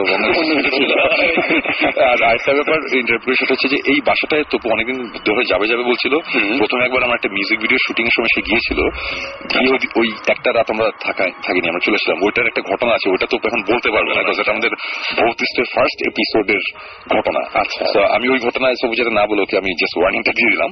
তো সেকেন্ড টাইম আমরা সবাই যখন একসাথে গেলাম এটা নিয়ে তপুর একটা ঘটনা আছে। ওকে ওই ঘটনাটা বলবে। ঘটনাটা বলার আগে আমি আবার আবার একটু ইন্টারেস্ট করি। সেটা হচ্ছে এর আগের দিন টেলিফোনে আমি কিছু কথা বলেছিলাম। তপু তখন ছিল আমাদের সাথে। সবাই ছিল। আলিফ হ্যাঁ। ছিল, ফয়সাল ছিল। হ্যাঁ, ফয়সাল ছিল ইশতিয়াক নামে একজন ছিল ফয়সালের ছোট ভাই। তো আমরা সবাই গিয়েছিলাম। আমাদের ওখানে কিছু ইন্টারেস্টিং কিছু ঘটনা ঘটেছিল ওটা নিয়ে আমরা শেয়ার করছিলাম। এবং আজকে তপু এসেছে এবং হোপফুলি সামনে আলিফ আসবে। আলিফেরও অনেক ইন্টারেস্টিং ঘটনা আছে। বাট প্রথম আমরা দুই রাত ছিলাম সেখানে। প্রথম রাতের ঘটনা আমি টেলিফোনে বলেছিলাম। ওই ঘটনাটা আমি আবার শর্ট করে আবার বলছি যারা শুনেনি। সেকেন্ড রাতের ঘটনাটা তপু বলবে বিকজ সেকেন্ড তবু দু একটা জিনিস এক্সপিরিয়েন্স করেছে যেটা আমি করতে পারিনি। ওর মুখ থেকে শোনা ভালো। ফার্স্ট স্টাফের ঘটনাটা আমি আবার রিক্যাপ করছি জাস্ট একটু। সেটা হচ্ছে যে আমরা আমাদের বাসার কোনায় একটা রুম আছে। ওই ওই রুমের মধ্যে আমি পার্সোনালি অনেক কিছু এক্সপিরিয়েন্স করেছিলাম রুমের টেম্পারেচার প্রচণ্ড বেড়ে যায় উপরে টিনের চালে বাড়ির আওয়াজ হয়। এগুলো আমি একা না আমার সাথে অনেকবার অনেকে অপু একজন উইটনেস যেমন আমাদের রেডিও ফুর্তির আর যে উপু একটা উইটনেস এবং আরও অনেক মিউজিশিয়ান অনেকেই আছে অনেকেই যারা বিলিভ করে না তারাও উইটনেস এবং এনিওয়েজ সো রাত্রে আমরা অ্যাকচুয়ালি রওনা দিয়েছিলাম অনেক দেরি করে। আমরা গিয়ে পৌঁছেছিলাম কখন? আড়াইটা বাজে বা তবু তখন। আড়াইটা বাজে। তো ওখানে যাওয়ার পরে আমরা তখন ডিনার করলাম। অনেকটা ডিনার টিনার করে আমরা আড্ডা দিয়ে চা টা খেতে খেতে আমরা তখন বললাম যে চলো ওই রুমে গিয়ে বসি। বিকজ আলিফরা কখনোই এই ধরনের যে শ্রীপুরের বাসার অনেক ঘটনা শুনেছে আমি চাচ্ছিলাম একটু ওই রুমে একটা কিছু আজকে যদি হয় তাহলে খুব ভালো নট দ্যাট যে এটা তো মিউজিয়াম না ভূতের মিউজিয়াম যে গেলাম আর আমাদের বললাই যে আমরা আসি তাই না? আমরা- অনেক আমি অনেকবার গিয়েছি সবসময় তো এরকম কিছু হয় না। কিন্তু আমি মনে মনে কিন্তু চাচ্ছিলাম একটা কিছু হোক ওরা একটু দেখুক ওরা একটু শুনুক জানুক হ্যাঁ, সামনাসামনি একটু এক্সপিরিয়েন্স করুক। এনিওয়েজ আমরা রুমের মধ্যে বসে অনেকক্ষণ গল্প করেছি। গল্প করতে করতে একটা সময় আমার রুমের পিছনে একটা বারান্দা আছে। ওই বারান্দা থেকে পিছনে একটা ডোবা ছিল, ওটা দেখা যেত এবং ওই ডোবাটার ওই জায়গাটা নিয়ে অনেকের অনেক কথা আছে। এবং রাত্রেবেলা এরকম ঘটনা আছে। একবার আমরা ডোবাটা গিয়ে আর যেতে পারিনি। মানে ভয়ই লেগেছিল। মানে সামথিং ইজ দেয়ার এরকম একটা ফিলিং হচ্ছিল। খালি আমার একার না। অনেকেরই যাই হোক ওইগুলো অন্য- স্টোরি ওগুলো আমরা পরে কথা বলব না হয়? বাট ওই রুমে আমরা বসে আছি বসে থাকতে থাকতে আমি বারান্দাটা খুলে দেখেছি এটা বারান্দা এই তারপর রুমে ঢোকার দরজা তিনটা একটা হচ্ছে বাথরুম থেকে ঢোকার মানে বাথরুমের দরজা তিনটা দরজা একটা হচ্ছে প্যাসেজ দিয়ে ঢোকার দরজা একটা দরজা হচ্ছে ইয়ের বারান্দার এই তিনটা দরজা আমরা প্যাসেজ দিয়ে প্যাসেজ দিয়ে যে ঢুকে রুমে এন্ট্রেন্স ঢুকে আমরা বসেছি আমি বসেছিলাম হচ্ছে আমার পিছনেই ছিল হচ্ছে ঠিক ওই বারান্দার দরজাটা আমি চেয়ারে বসা সামনে একটা বড় খাট। খাটের মধ্যে ওরা চারজন বসা ছিল হ্যাঁ। তো আমরা বসে গল্প করছি। গল্প করতে করতে একটা সময় মানে আমার একটা খুব বুয়েড একটা ফিলিং হচ্ছে যেটা আমার অনেকবার অনেক জায়গাতে গিয়ে হয়েছে। যেসব জায়গায় হয়েছে ওইসব জায়গায় নিয়ে অ্যাকচুয়ালি ভর্তি এপিসোড করা। তো মনে হলো যে পিছন দিক- দিক থেকে একটা কিছু আমাকে ক্রস করল আমার বাম সাইড থেকে ডান সাইডে চলে গেলো পিছন দিয়ে এবং তার বাম দিকে আমার পাশে এসে কিছু একটা দাঁড়াল। এরকম একটা ফিলিং হলো। আমি জাস্ট ঘুরলাম এটা আমার জাস্ট চোখের ভুল বা কিছু একটা বা যেটাই যে বলে। কালো রঙের একটা স্কোয়ারিশ একটা শেপ কত ফিট দুই ফিট দুই ফিট দেড় ফিট বা দুই ফিট দুই ফিট দৈর্ঘ্য প্রস্থ দুই ফিট এরকম স্কোয়ারিশ একটা কিছু স্কোয়ার একদম পুরোপুরি স্কোয়ার এবং কালো রঙের এবং ট্রান্সপারেন্ট মানে আমরা অ্যাড অফ ফটোশপে গেলে ওপাসিটি বাড়ালে যে ওই সেটটা দেখা যায় ওরকম একটু গ্রেইশ হয়ে গেছে so, এবং শেপটা কীরকম আমি বলি সে একটা পাউরুটির কর্নারে আমরা যদি দুই তিনটা কামড় দিই তাহলে যেরকম হবে একদিকটা খাওয়া। আচ্ছা আচ্ছা আচ্ছা আচ্ছা। একটা স্কোয়ার মানে বাইটের দাগটা থাকবে হ্যাঁ, একটু ওই ধরনের। ওই- ওই টাইপের আমি জাস্ট দু এক সেকেন্ডের জন্য দেখার সাথে সাথেই আমি জাস্ট ঘুরছি ফয়সাল তখন আমার সাথে একটা গল্প বলছিল যে ওকে ওকে একবার বোবা ধরেছিল। এবং এই গল্পটা বলছিল। তো আমি ওরকম জিনিসটা দেখে আমি দেখলাম যে দু এক সেকেন্ডের জন্য আমার চোখের সামনে ভাসলো এবং নাই। এবং তখন আমি ফ্যাসলের দিকে তাকলাম এবং ফাসল তখন সাথে সাথে বল- শুরু করল ঠিক তখন দেখলাম আমার সামনে কালো একটা জিনিস দাঁড়িয়েছে এরকম একটা কথা বললাম So, আমি তখন খাট করি আমি ওই যে আমি যেটা বলি আমি কোইন্সিডেন্সে বিশ্বাস করি না। আমি মনে হলো ফাইসাল যদি আগে আমাকে কালো জিনিসটা বলতো তারপর যদি আমি কালোটা দেখতাম। ওটা অন্য যে ব্যাপার একদম একদম। এবং এর আগে আমরা অনেক জায়গায় গিয়েছি আমাদের ডুয়েট যেমন যেমন আমরা খুলনা ডিভিশনে একটা বাসায় আমাদের ভিডিও ফুটেজের মধ্যে আছে আমাদের চোখের সামনে দিয়ে ছোট চার কোনা কালো একটা জিনিস উড়ে চলে গেছে। এবং এটা কোনো এক্সপ্লেনেশন নাই আমার কাছে ফুটেজ আছে। এবং এই footage in fact sci fi channel ghost হান্টার্সকে আমি দেখিয়েছি এবং ওরা ওরা দেখে ওরাও খুব বলেছে খুবই ইন্টারেস্টিং এবং ওই টেপের একটা কপি ওদের কাছে আছে। বলল যে আমরা এটা দেখব আমরা এটা আরও ভালো করে বোঝার চেষ্টা করব জিনিসটা কি? ওকে সো তারপর টাঙ্গাইলে একটা বাসায় আহ, এরকম কালো রঙের চার কোনা একটা সেই একটা জিনিস এটা সাকিব জিব্রান এরা দেখেছে। সো তখন সাকিব জিব্রানের সাথে আমার সেরকম খাতির ছিল না। তো সব জায়গায় আমরা এই কালো জিনিসটা একটা রেফারেন্স পাই তো। মানে আমরা অ্যাকচুয়ালি ভুট্টু শুনলে কি শুনি যে সাদা রঙের কাপড় পরে শাড়ি পরে কিন্তু ব্যাপারটা আসলে সেরকম ব্যাপারটা কীরকম আমি জানি না। সেরকম ঘটেনি। আমাদের আমাদের ব্যাপারে ঘটে নাই। আমরা সবসময় কালো এবং খুব উইয়ার্ড চার কোনা শেপ ছোট বড় ওই টাইপের তো ওটার সাথে সাথে আমি তখন বিছানার মধ্যে ফয়সাল আলিফ আর ইশতিয়াক। এই তিনজন বসা। আর তপু বসা। তো ফয়সাল হচ্ছে বাম দিকে আমার কোনাকুনি আর বাকি তিনজন ওই সাইডে আমি হঠাৎ করে দেখলাম যে ওরা কি নিয়ে জানি কথা বলছে। আমি বললাম যে কি ব্যাপার? তখন বলছে যে না শুন ভাই আপনার পিছনে দরজাটা খোলা। আমি বললাম দরজাটা তো আমি ফিরিয়ে দিয়েছি। এবং দরজাটা হচ্ছে দেখলে বুঝতে পারব এটা হচ্ছে লোহার দরজা এবং খুব বড় একটা তালা লাগানোর মতন একটা জিনিস বেশ ভারী একটা দরজা। তো আমি তখন বললাম যে দরজাটা হয়তো বা ওই ইশতিয়াক মাঝখানে পানি আনতে গিয়েছিল। পানি আনার সময় অন্য দরজাটা যখন খুলেছিল খোলার পর দরজাটা টানার পর ওই যে ভ্যাকিউম ক্রিয়েট হয় দরজা অটোমেটিক খুলে যেতে পারে আরেকটা। বললাম মনে হয় এরকম একটা কিছু একটা হয়েছে। তখন তবু বলল যে না আসুন ভাই ও পানি আনার আগে থেকে আমি নোটিস করছি দরজাটা খোলা। আমি বললাম আচ্ছা যে কারণেই হোক বাতাসে হোক যাই হোক দরজা একটা একটু খুলে যেতেই পারে এটা it's not a big deal but যেই ফিলিংটা আমার মধ্যে হচ্ছিল ওটাতে আমি একটু ইয়ে হয়ে গেছিলাম যে সামথিং ইজ রং কজ এই ধরনের ফিলিং আমার যে ওয়েস্ট ভার্জিনিয়ার ওই ট্রান্স অ্যালাগনি লুনেটিক অ্যাসিড হয়েছিল। খুলনা টিভিশন একটা মানে অনেক জায়গাতেই হয়েছিল এই ধরনের জিনিস। তো আমার তখন মনে ছিল যে হয়তো বা কিছু একটা এই রুমের মধ্যে এই মুহূর্তে আছে এরকম একটা ব্যাপার। তো আরও কিছুক্ষণ বসে থাকার পর জিনিসটা আরও তীব্র হচ্ছে যখন তখন আমি হঠাৎ করে বললাম কি যে চল আমরা এখান এখান থেকে বের হয়ে যাই। আমরা আবার পাশের রুমে যাই। বিকজ আমার মাথায় তখন একটা জিনিস কাজ করছে যে আজকে আমি এখানে ভৌতিক স্টিম নিয়ে আসিনি। আজকে আমি একা এসেছি এবং তপুর সেকেন্ড টাইম এবং আলিফদের ফার্স্ট টাইম এবং উল্টাপাল্টা যদি একটা কিছু হয় এটা আমার জন্য একটা অন্যরকম বাজে একদম সবার জন্য আমি বললাম চলো যাই। এবং ওরা আমার চেহারা দেখি বুঝলো যে সামথিং রং আছে যাই আমরা তখন ওই রুমের দরজা টরজা বন্ধ করে আমরা চলে আসছি। লাইট টাইট নিভে চলে এসে আমরা পাশের রুমে বসলাম। একটা বড় রুম আছে যেই রুমে বসে আমরা আড্ডা দিই মুভি টুভি দেখি। ওই রুমে বসে আমরা গল্প করতে করতে হঠাৎ করে ওই পাশের রুম থেকে আবার একটা আওয়াজ আসলো। তবু ফার্স্ট আওয়াজটা দুইবার ছিল না ধূপ ধূপ কিছু। ফার্স্ট হাউসটা কোনটা? একবার দুইবার দুইবার ফার্স্ট সেটটা দুইবার হয়েছে সেকেন্ডটা বোধহয় একবার। আমি অতটা মনে যে আওয়াজ শুনে শোনার পরে তখন সবাই বলতেছে যে শুনলে একটা আওয়াজ এসছে আমি বললাম আওয়াজ তো টুকটাক হয়। এটা কোনো এটা it's not a big deal আওয়াজ তো হতে পারে। এটা ব্যাপার না এরকম এর আগে এর আগে টিনের চালের উপর মনে হচ্ছিল কেউ মানে কিল মারতেছে এরকম আওয়াজ আমরা শুনছি কন্টিনিউয়াস সারা রাত হয়েছে আর কি। সো আমরা কথা বলতেছি কথা বলতে বলতে আওয়াজ আবার হলো। সেকেন্ড টাইম যখন হয়েছে তখন আমি বললাম যে আমার মনে এখন আমার রুমে যাইতে হবে। আমি যাচ্ছি। তো তোমরা জেনেছিলে আসো। তো বলেছে ঠিক আছে। আমি গিয়ে দরজাটা খুললাম খোলার সাথে আমার পিছনেই ছিল বোধহয় ইস্তেক সেগুলো লাইটটা জ্বালাই। আমি বললাম না লাইট জ্বালাবা না। আমি যে জিনিসটা ফিল করতেছি আমি ওটা ফিল করতে চাই। আমি চোখে তো কিছু দেখার কিছু নাই। আমি বোঝার চেষ্টা করি যে আদৌ রুমের মধ্যে কিছু আছে কিনা। দরজাটা দিয়ে খোলা। আমরা গেলাম কি আমি ফার্স্টেই আমি আমার জুতা খুঁজলাম বিকজ আমি জানি যে আমার জুতো দুটো আমার যেখানে বসেছিলাম ওখানে জুতো খুলেছিলাম আমি। আমার মাথায় না আমার কাছে মনে হচ্ছিল যে জুতো জুতাটা দিয়ে কেউ যদি ফ্লোরের মধ্যে পাড়ি দেয় তাহলে যেরকম আওয়াজটা কিছুটা ওরকম। তো ফার্স্টে আমার চোখ গেছে আমার জুতোর দিকে। আমি দেখলাম যে আমার জুতো দুটোই আমার ইয়ে নিচে রাখা চেয়ারের নিচে। চেয়ারের নিচে অ্যাকচুয়ালি জুতাটা ছিল না। জুতাটা হচ্ছে খুলে রাখা হয়েছিল তারপরে আমি চেয়ারটা টেনে সরানোর পরে চেয়ারের নিচে চলে গেছে। আচ্ছা। ব্যাপারটা ওরকম। আমি ফার্স্টেই জুতাটা নিয়ে আমি ওই যে বাইরে প্যাসেজ থেকে যেই আলোটা আসছিল আলোতে নিলাম। রুমের তো লাইট আমি নিভিয়ে নেবানো। আলোতে দেখলাম যে জুতোর নটটা সবকিছু ঠিকঠাক আছে নাকি? দেখে মনে হলো যে পুরো নর্মাল বাদে আমার এটা হচ্ছে ওই হাইকিং বুট টাইপের আমি এটা ফিতা খুলি না ফিতা আটকে থাকে। আমি ফার্স্টে খেয়াল করলাম ফিতা খোলা কিনা ফিতা ঠিক আছে সব ঠিকঠাক। আমি জুতাটা নিলাম নিয়ে বললাম যে চলে আসি। চলে আসছি আসার পরে আবার আমরা বসে গল্প টল্প করতে করতে একটা সময় আবার আওয়াজ। সেকেন্ড টাইম আওয়াজের পর আমরা আবার গেলাম। এবার গিয়ে লাইট জ্বালাচ্ছি। জ্বালানোর সাথে সাথে ইশতিয়াক বলতেছে কি শোন ভাই ওই পানির বোতলটা বিছানার উপরে গেল। দেখলাম যে বিছানার ঠিক মাঝখানে মানে একটা মাঝখানে হ্যাঁ একদম খালি বোতল আচ্ছা, এটা এই স্টেবল থাকা খুব টাফ এটা আমরা যেভাবে সেটা একদম। ফাইভ হান্ড্রেড এম এল ওই ওই যে মিনারেল ওয়াটারের বটল এবং পুরো বটলটা খালি। এবং অ্যাকর্ডিং টু ইয়ে ইশতিয়াক, সে বলল যে আমি বটলটা যাওয়ার আগে আমি ইয়ের পাশে রেখেছিলাম, ওই পাশের সাইড টেবিলে খাটের পাশের সাইড থেকে।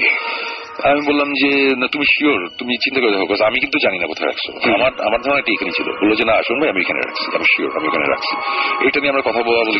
এত পাতলা হয় যে তপু ভাই যেটা বলছিলেন যে দাঁড়িয়ে থাকাটা একটু ডিফিকাল্ট সেটাই এবং বড় চলো খাট হ্যাঁ। প্লেন হতো একটা কথা মানে একটা খাটের উপর একটা ফাইভ হান্ড্রেড এম এর খালি বোতল বটল এটা যে কেউ বাসে টেস্ট করলে বুঝবে যে এখানে রেখে আমি যদি খাটে একটু বসি তাহলে এটা পড়ে যাওয়ার কথা। ওটা খুব সুন্দর মতো দাঁড়ানো দাঁড়ানো সবাই খাট থেকে নেমেছে এর মধ্যে। হ্যাঁ, এবং বের হওয়ার সময় সবাই বেশ তাড়াহুড়ো করে নিয়েছে আমি বলবো- বলেছিলাম যে এখনই আমরা বেরোবো তখন বেশ সবাই তো আমি পরে আবার ভাবলাম যে হয়তো বা দাঁড়ায় থাকতেও পারে। তো আমি খালি বটলটা নিয়ে আমি পাশের সাইড টেবিল আবার রাখলাম রেখে আমি আবার দরজাটা লাগিয়ে দিলাম। দরজাটা আমি লাগিয়ে দিয়ে আমার পাশের রুমে চলে আসলাম। না না সরি আসল ঘটনাতে বলিনি। যখন বেরোয় আসছি তখন তপু হঠাৎ করে বলে কি রুমের সে আমরা যেখানে বসে তার একেবারে কোনো কোনো মানে আমি যে যেই কর্নারে রুমের যেই কর্নারে আমার চেয়ারটা তার ঠিক অপোজিট কর্নারে ওইখানে হঠাৎ করে তবু বলে শোনো ওইটা কি? আমরা তো বের হয়ে আসছি। আমি বললাম যে কি? আমি কোনার মধ্যে দেখি কালো রঙের একটা কিছু কাপড় টাপড় কিছু। তখন তবু বলে কি শোন ভাই এটা মনে একটা মজা। এটা যখন বলছে আমি তখন দৌড় দিয়ে রুম থেকে বেরোছি বের হয়ে আমি পাশের রুমে গেছি। পাশের- পাশের রুমে আমার জুতাটা নিয়ে গেছিলাম। এবং জুতা চেক করে দেখি জুতাতে মজা একটা।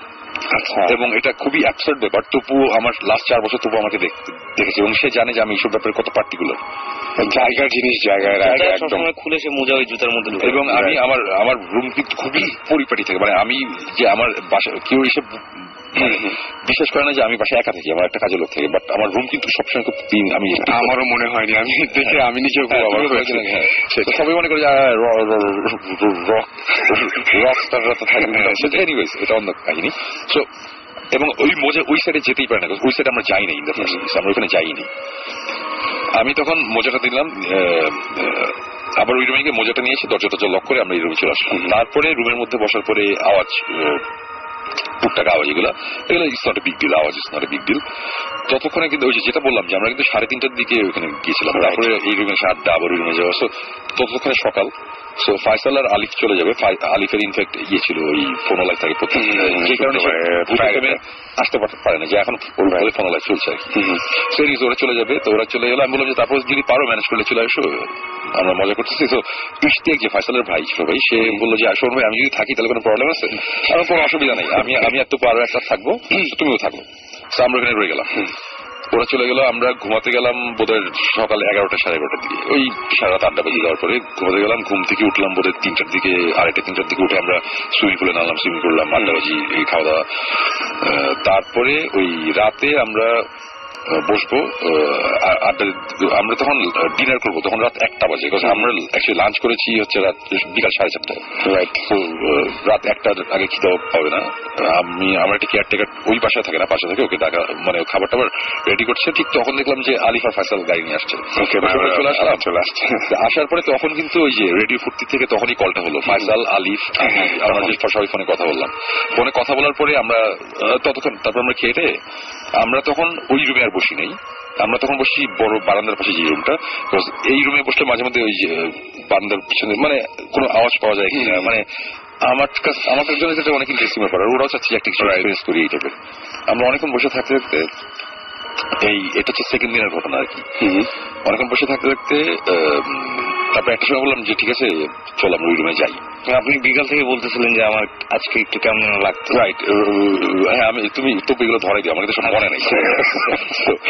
মানে আমার একটু ইয়ে লাগছিল তারপরে রাতের দিকে যে এখন মনে পড়ল রাতের দিকে ওই সময় আমি বলতেছি কি যে আমার কেন জানি মনে ওই রুমে একটা কিছু হইতেছে আমার ওই রুমে যাইতে হবে। মানে যাইতেই হবে। আমি তখন মানে পুরো হাইপার আর কি এখন আমার মানে এবং সাকিব নাই জিব্রান নাই ক্যামেরা নাই মানে ও আবার ওটা নিয়ে আবার ইয়ে যে ইনভেস্টিগেশনে গেলে আমরা যে পরিমাণ ইকুইপমেন্ট নিয়ে যাই যা করি নাই করি এই ব্যাপারটা ওরকম না।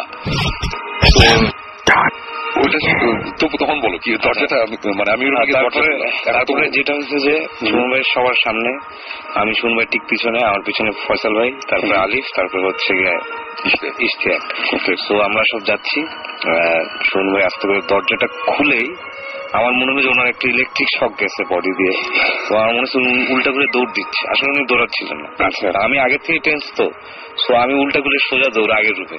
আমার দেখা দেখি আলি ফয়সাল সব দৌড়। দিয়ে ওই রুমে দাঁড়াইছে আর দুই শুনবে আস্তে আস্তে হেঁটে হেঁটে আসছে। চোখ টোক লাল হাত কাঁপতেছে। তো উনি বললেন যে দরজা খুলেই ওনার ফিল হয়েছে যে ভিতরে কিছু একটা আছে। এবং তখন আমরা যেটা ডিসাইড করি যে আজকে যাই হোক আমরা আজকে ওই রুমেই থাকব। এবং এই ফিল তো অনেক সময় হয় তাই না? যে আছে এরকম বা কিছু আমি এটা একটু এক্সপ্লেন করি যে ওয়েস্ট ভার্জিনিয়ার ওই যে যেই অ্যাসালামটার কথা বলেছি ভয়ঙ্কর একটা এক্সপিরিয়েন্স হয়েছিল। ওখানে চারতলাতে যেই ফিলিংটা ছিল আমি বলব এটার চেয়ে অ্যাটলিস্ট টেন টাইমস বেশি। মানে এখানে? ওই রুমে দিন ওই রুমে আমি দরজাটা খুলে আমি সাথে সাথে ঠাস করে আবার দরজাটা লাগাইছি Oh God. মানে মানে ফর এক্সাম্পল এই যে, আমার কিন্তু এই মুহূর্তে যে আমি একদম একদম গুজবাম্পসটাকে এখন দেখা যাচ্ছে। মানে আমি লিটারালি ফিল করতেছিলাম যে সামথিং ইজ ভেরি রং মানে ওই রুমটার মধ্যে কি জানি একটা। মানে আমার এরকম ফিল খুব কম হয়, মাঝে মধ্যে হয় আর কি। সো এই জিনিসটা খুব বেশি ছিল আর কি ওই দিন। সো তখন আমরা আবার ওই রুমে চলে আসলাম। তখনই আমরা ডিসিশন নিলাম যে কি হবে আজকে ডিসিশনটা কি? আমি একটু কনফিউজ বিকজ আমার সাথে আজকে যারা আছে এরা ভর্তি স্টিমের না এরা এক্সপিরিয়েন্স না এবং আমরা কোনো ইনভেস্টিগেশনে আসিনি। রাইট আমরা গেছি যে আমরা সুইমিং পুলে গোসল করব একটা আড্ডা দিব মজা করব আর যদি একটা কোনো এক্সপিরিয়েন্স একটা হঠাৎ করে এরকম শব্দ পাওয়া যায়। শব্দ পাওয়া যায় অনেক ইচ্ছা সবারই ছিল যে কিছু একটা হোক। আবার ভয়ও পাচ্ছিলাম সবাই। বাট শেষ পর্যন্ত আমরা ডিসাইড করলাম যে আজকে যাই হোক থাকব। থাকব আমরা এই রুমটাতে এবং তারপরে আবার আমরা গেলাম। সময় গিয়ে লাইট জ্বালাবেন জ্বালা ওনার ঢোকার সাথে সাথে আমি দেখছি ওনার মুভমেন্ট এক্সপ্রেশন সবকিছু চেঞ্জ কেমন জানি করতেছেন উনি মানে একটু কেমন ঘাটটা চুলকাচ্ছেন ইয়ে করতেছেন চোখটা কেমন একটু লাল লাল। উনি চেয়ারে বসছে আর আমরা সবাই গিয়ে খাটের মধ্যে বসলাম। বসে সুময় যেটা বলতেছিল যে আজকে তোমাদের একটা লাইফ টাইম এক্সপিরিয়েন্স হবে। সো বি রেডি আমি যে কেন শুনব কি হয়েছে আর আমি এমনিতে কিন্তু অনেক ভীতু। মানে অনেক ভীতু সেন্স হচ্ছে গিয়ে আজাইরা জিনিসে ভীতু। শব্দ হইলেই আমার মনে হয় কি না কি হয়েছে। সেটা হচ্ছে আসলে হ্যাঁ, এরকম। তো আমি গিয়ে বললাম জিজ্ঞেস করলাম কেন শুনবে কি হয়েছে? মানে আমরা সবাই কিন্তু টেন্স কারণ শুন ভাই ইজ নট নর্মাল হাত কাঁপতেছে পা কাঁপতেছে। শুনে বলে যে এই মুহূর্তে এই রুমে একটা জিনিস আছে। সো আমি ওটা ফিল করতেছি। এটা বলার সাথে সাথে আমি দেখলাম যে ওনার এই এই ঘাড়ের উপর থেকে যত রগ আছে মাথার এইখানকার এই- সব রগ আমি দেখতে পারতেছি তার মুখ এবং ঘাড় সব সব জায়গায় রগটা দেখতে পারতেছি এবং এইটা কোনো নর্মাল মানুষের পক্ষে এটা সম্ভব না ক্রিয়েট করা। যদি না কেউ তার গলা চেপে ধরে গা চেপে ধরে ব্লাড সার্কুলেশন বন্ধ হয়ে যায়। কিন্তু সুমে নর্মাল হাত কাঁপতেছে পা কাঁপতেছে ওনার সব রক বের হয়ে গেছে এবং তার চোখ লাল হয়ে গেছে। মনে হচ্ছে চোখ দিয়ে রক্ত পড়ছে এমন একটা ফেস ছিল ওনার এবং এই জিনিসটা করে সুমন ভাই বলতেছেন যে আমি এই জিনিসটা দেখিনি যেটা তোমরা এক্সপিরিয়েন্স করছ। আমরা মানে আমি তখন হয়েছে কি আমি যখন আমার তখন আমার যে ফিলিংটা এই ফিলিংটা আমার ওই আগে অনেকবার হয়েছে। সেটা হচ্ছে যে মনে হয় যে ঘাটটার কেমন জানি হয়ে যেতেছে। এটা আমি জানতে চাচ্ছিলাম যে তখন আপনার আসলে কেমন লাগছিল? এটা আমার এর আগে আমি অনেকবার ফেলে বলছি যে যাওয়ার পর দেখলাম যে গা প্রচণ্ড গরম লাগছে মনে হচ্ছে কিছু পিঞ্চ করতেছে গায়ের মধ্যে। মানে পুরো অন্যরকম একটা ফিলিং হয় গা। অনেক সময় এক্সট্রিম লেভেলে চামড়া জ- জ্বলা শুরু করে। মনে হয় যে আমার অনেক জ্বর আসছে গা অনেক গরম লাগতে থাকে ঘাটটা অনেক ব্যথা করতে থাকে মানে ব্যথা ঠিক না মানে ভার হয়ে যায় মানে অ্যাজ ইফ ঘাড়ের উপর কেউ বসে আছে এরকম একটা জিনিস হয়। এই জিনিস এই ধরনের ফিলিং এর আগে আমার হয়েছে। আচ্ছা। বাট ওই দিন অনেক বেশি হচ্ছিল আর কি। সো আমি না তখন ওদের দিকে তাকাচ্ছি তখন হঠাৎ করে আলিফ আর তোমরা বলতেছে যে শুনবে আমরা কি চলে যাব রুমে আমি যে কেন যাব? বলে আপনি কি অসুস্থ? আপনার শরীর খারাপ মনে হচ্ছে। আমি যে না আমার শরীর খারাপ না আমার যেটা হইতেছে এরকম হয়। আর তখন আমি তাদের বলতেছি যে দেখো তোমরা যে আজকে এখানে আসো এখন এই মুহূর্তে রুমের মধ্যে যেটা হইতেছে এটা তোমরা হয়তো বুঝতেছো না বাট তোমরা এক্সপিরিয়েন্স এসো এই I give you the experience এই এখানে বসো বসে থাকো। কিছু হলেও হবে না হলেও তোমরা বলতে পারব যে একটা কিছু রুমের মধ্যে হয়েছে Because আমি তখন পুরো বুঝতেছি সামথিং রং রুমের মধ্যে। এরকম একটা কিছু যেটা হতে যাচ্ছে তখন তো হ্যাঁ। হচ্ছেই। হ্যাঁ, হ্যাঁ। আচ্ছা আমরা একটা মেজর জিনিস বলি নাই তো আমরা স্কিপ করছি। কোনটা? বালিশের কথাটা। ও আসল এই ঘটনাটা কোথা থেকে শুরু বলি? আমরা রুমের মধ্যে ঢোকার পর তো লাইট জ্বালাইছিলাম। আসল যেটা দিয়ে শুরু হয়েছে আর কি ঘটনাটা। রুমে ঢোকার পর আমরা বিছানার উপরে আসল ঘটনা বলি নেই বিছানার উপরে দুইটা বালিশ রাখা এক মাঝখানে। দুইটা বালিশ তার পাশে একটা বালিশ তিনটা বালিশ রাখা। মানে সিঁড়ির মতো দুইটা একটার উপর আরেকটা একটা পাশে। এবং গেস ওয়াচ তার উপরে কি? তার উপরে একটা মজা মোজা লম্বা করে সাজে রাখা। এবং এটা হচ্ছে এবং সেই পরে এবং আমার থেকে আবার আমরা ইয়ে চেক করে তার সেকেন্ড টাইম ঢোকার পরে ওই ঘটনাগুলো ঘটে। রুমে চেক করে দেখি যে আমার জুতাতে অ্যাজ ইউজুয়াল একটা মজা নাই। হ্যাঁ রুমটা কিন্তু আমরা লক করে চলে আসছিলাম এর আগে। সিনটা না খুব অদ্ভুত ছিল। মানে দুইটা বালিশ এইটা দেখার পরে তখন এটা নিয়ে যখন ওরা কথা বলছে তখন আমি বলছি যে দেখো এই এখন যেই জিনিসগুলো হইতেছে এগুলো খাওয়া হইতেছে না? কোনো একটা ব্যাপার আছে? তোমরা একটা জিনিস মজার মানে খুব ইন্টারেস্টিং একটা কিছু এক্সপিরিয়েন্স করতেছো। তখন ওরা বলতেছে যে ওরা দাঁড়িয়েছে তখন আমি ওদের বললাম যে তোমরা বিছানায় বসো। তো টপু তখন বিছানায় বসতে গেছে আমি তখন টপুকে বললাম টপু একটু পাটা সরাতো পাশে হলো বিছানার নিচে আমি কিছু একটা দেখতেছি। আমি নিচে থাকায় দেখি যে দুইটা বালিশ রাখা। তো আমাদের ওই রুমের বিছানার উপরে পাঁচটা বালিশ ছিল। পাঁচটা বালিশ ছিল এটা আমার এত স্পেসিফিক ভাবে কেন মনে আছে কেউ যদি জিজ্ঞেস করে এটা আসল হচ্ছে যে প্রথম রাতে যখন আমরা থাকার জন্য ব্যবস্থা বিছানা করার ইয়ে করছিলাম বড় রুমের মধ্যে মাটিতে বিছানা করা হবে। মানে একটা রুমে ফয়সাল আলি- আলিফ থাকবে আর একটা রুমে আমরা তিনজন থাকব। তো ওই রুমের খাটটা বড় বাট মাটিতে একটা বিছানা করব। তখন তো বালিশ এগুলোর দরকার হচ্ছিল। তো তখন ওই রুমে আমি গেছিলাম যে বালিশের জন্য। তখন ওইখান থেকে বালিশ নিয়ে এসেছিলাম তারপরে ওখানে পাঁচটা বালিশ ওই রুমে অনেক বালিশ চাদর রাখা ছিল। তো আমি জানি এখানে পাঁচটা বালিশ। তো ঢোকার পরে তখনও কিন্তু মাথায় আসে না যে দুইটা বালিশ কই। দুইটা বালিশ আমরা পাই খাটের নিচে আর খাটের উপরে তিনটা বালিশ এইভাবে সাজানো এবং মোজা রাখা। আমরা তখন ধরে ওই রুমে যাওয়ার পরে ওই রুম থেকে উদ্ধার মানে জুতা দেখি যে জুতার মধ্যে মোজা নেই ও আচ্ছা আরেকটা জিনিস এটাও তো ভুলে গেছি। আমরা এর আগে ওই রুমে যাওয়ার আগে যখন গল্প করতেছি মোজা নিয়ে ওই জুতা মোজা নিয়ে কিন্তু আমরা গল্প করতেছিলাম। এর আগের রাতের ঘটনা হ্যাঁ। তখন তবু বলছিল কি শুনবে আপনার একটা জুতা আমি তখন খেয়াল করছি সন্ধ্যা একটা জুতার মধ্যে মোজা নেই। মানে মোজাটা ঢোকানো থাকে তো দেখা যায় বাইরে থেকে। অবশ্যই। আমার মাথায় আগের রাতে ইয়ে করতেছে ছয় মূল্যে মোজা নেই আমি শুনে একই জিনিস আমি যখন বিছানায় শুয়ে দুইটা ঢুকে। আমি আমি একটার মধ্যে ভিতরে ঢুকছে বা একটা ভিতরে আছে মানে মজা নাই মজা কোনো না এরকম একটা ব্যাপার। এবার ওইখানে যাওয়ার পর যখন ওই মজাটা দেখছি তখন আমি তো দেখে বুঝতেছি এটা আমার মজাই আমি মজাটা নিয়ে দৌড়ে তখন আমরা ঢুকে দেখলাম যে হ্যাঁ ওইখানে মজা নেই এই ব্যাপার। তো তারপরে আমরা আবার ফিরে যাই ওই রুমে তখন আমরা ডিসিশন নিই যে আমরা ওই রুমে আবার যাব এই রুমে আমরা আজকে যতক্ষণ থাকা এবং তারপরে গিয়ে যেটা দেখলে সেটা বালিশেরটা। প্রথমে যে বালিশেরটা। না বালিশ তো প্রথমে ছিলই। বালিশের বালিশ মোজা ঢোকানোর মোজা পরেই- চেক করলাম করে তারপরে আসছি। ওকে ফার্স্ট টাইম সময় ঢুকেই যে ফিলটা করছিল এই বালিশের ঘটনাটা আমি স্কিপ করছি কারণ লাস্টে যে ঘটনাটা হয় ওইটা আমার মাথার মধ্যে ঘুরতেছে। ওইটার উপর আর কিছু নাই এগুলি আমার মনে হয়। আমি আমার লাইফে কোনোদিন এর বেশি কিছু আমি মানে এক্সপিরিয়েন্স করছি বলে মনে হয় ওকে তখন হ্যাঁ আচ্ছা তুমি আচ্ছা, আমি বলতে থাকি। হ্যাঁ, হ্যাঁ, বলতে থাকো। সেটা হচ্ছে সামনে সময় বসে আছে ওনার চোখ লাল রক সব বেরোয় হয়ে আছে তো আমি যেটা আমি আমার সবসময় আমি ভয় পাই শুনবে জানে আমি অলওয়েজ ভীতু আমি যে কোনো কিছুতে ভয় পাই। বাট আমি ওই সময় না আমি ভাইয়ের সাথে কথা বলতেছি। ভাই কেমন লাগতেছে আপনার? কি মনে হচ্ছে? তখন না একটা হাসি এসে মানে সে খুব নর্মাল নর্মাল আমি। Which is not normal. তারপরে হাসি হাসি মুখে ভাই জিজ্ঞেস করেছে ভাই কি কেমন লাগতেছে আপনার? ভাই বলে যে আমার মনে হচ্ছে যে কিছু একটা আমার পিছন দিয়ে ধরে রাখছে আমাকে। পিছনে পুরো জড়ায় ধরে রাখছে। সো এই করতেছে সুমন ফেশিয়াল এক্সপ্রেশন চেঞ্জ হচ্ছে উনি কাঁপতেছে আমরা দেখতেছি সবাই। এই সময় আলিফ উঠে গিয়ে পাশে খাটের পাশে দাঁড়ায় আছে। আমি আলিফ ওখানে দাঁড়ায় আছে। শুনে বলে যে ভিতরে বসো ওই জায়গাটা সেফ উনি ওই অবস্থায় বলতেছে আমাদেরকে। এবং ওই রক্ত কিন্তু বের হওয়া জিনিস চলতেছে এবং বলতেছে। তালি বলে যে না আমি বসবো না। সে এতই ভয় পেয়েছে যে সে দরজা দিয়ে বাইরে হয়ে যাবে এমন একটা প্ল্যান যদি কিছু হয়। আমি পুরো নর্মাল আমি জিজ্ঞেস করলাম সুমাই আমি যদি আপনার পিঠে হাত দিই তাহলে কি আমি কিছু দেখতে পাবো?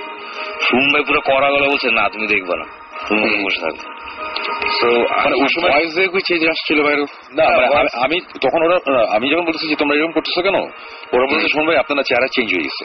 আমার চেঞ্জ হয়ে গেছে মানে বলে আপনার মুখ ফুলে গেছে আপনার মুখ পুরো লাল সব রক দেখা যেতেছে আপনার চোখ বের হয়ে আসতেছে আপনার চোখ পুরো টকটকা লাল। এই সময় ফিল করা উচিত ছিল। মানে আমি- না, না না পজেস্ট আমি বলব না আমি বলব না যে আই ওয়াজ পজেস্ট আমি যদি পজেস্ট হই আমি এতটুকু জানি যে আমি এটা পুরোপুরি বুঝতে পারব যে আমি possessed I was not possessed এটা আমি শিওর ওকে বাট আমি বুঝতেছিলাম সামথিং ইজ রং এবং আমি তখন ওদের আবার জোরে জোরে বলতেছি যে তোমরা একটা কাজ করো তোমরা তোমরা আজান দাও।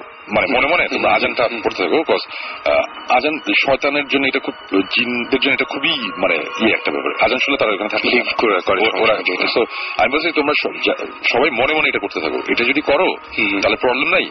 আর আমার তখন খালি মনে হচ্ছিল কি যে বিছানাটা খুব সেফ একটা জায়গা মানে ওই সাইডটা আমি যে সাইডটা বসে আছি এই সাইডটা সেফ না। এই সাইডটা বিকজ আমি তো রুমে ঢুকে যখন হাঁটা দিচ্ছি তখনই আমার মনে হচ্ছে কর্নারটার মধ্যে প্রবলেম যে কারণে কর্নারটা গিয়ে বসছি আর কি।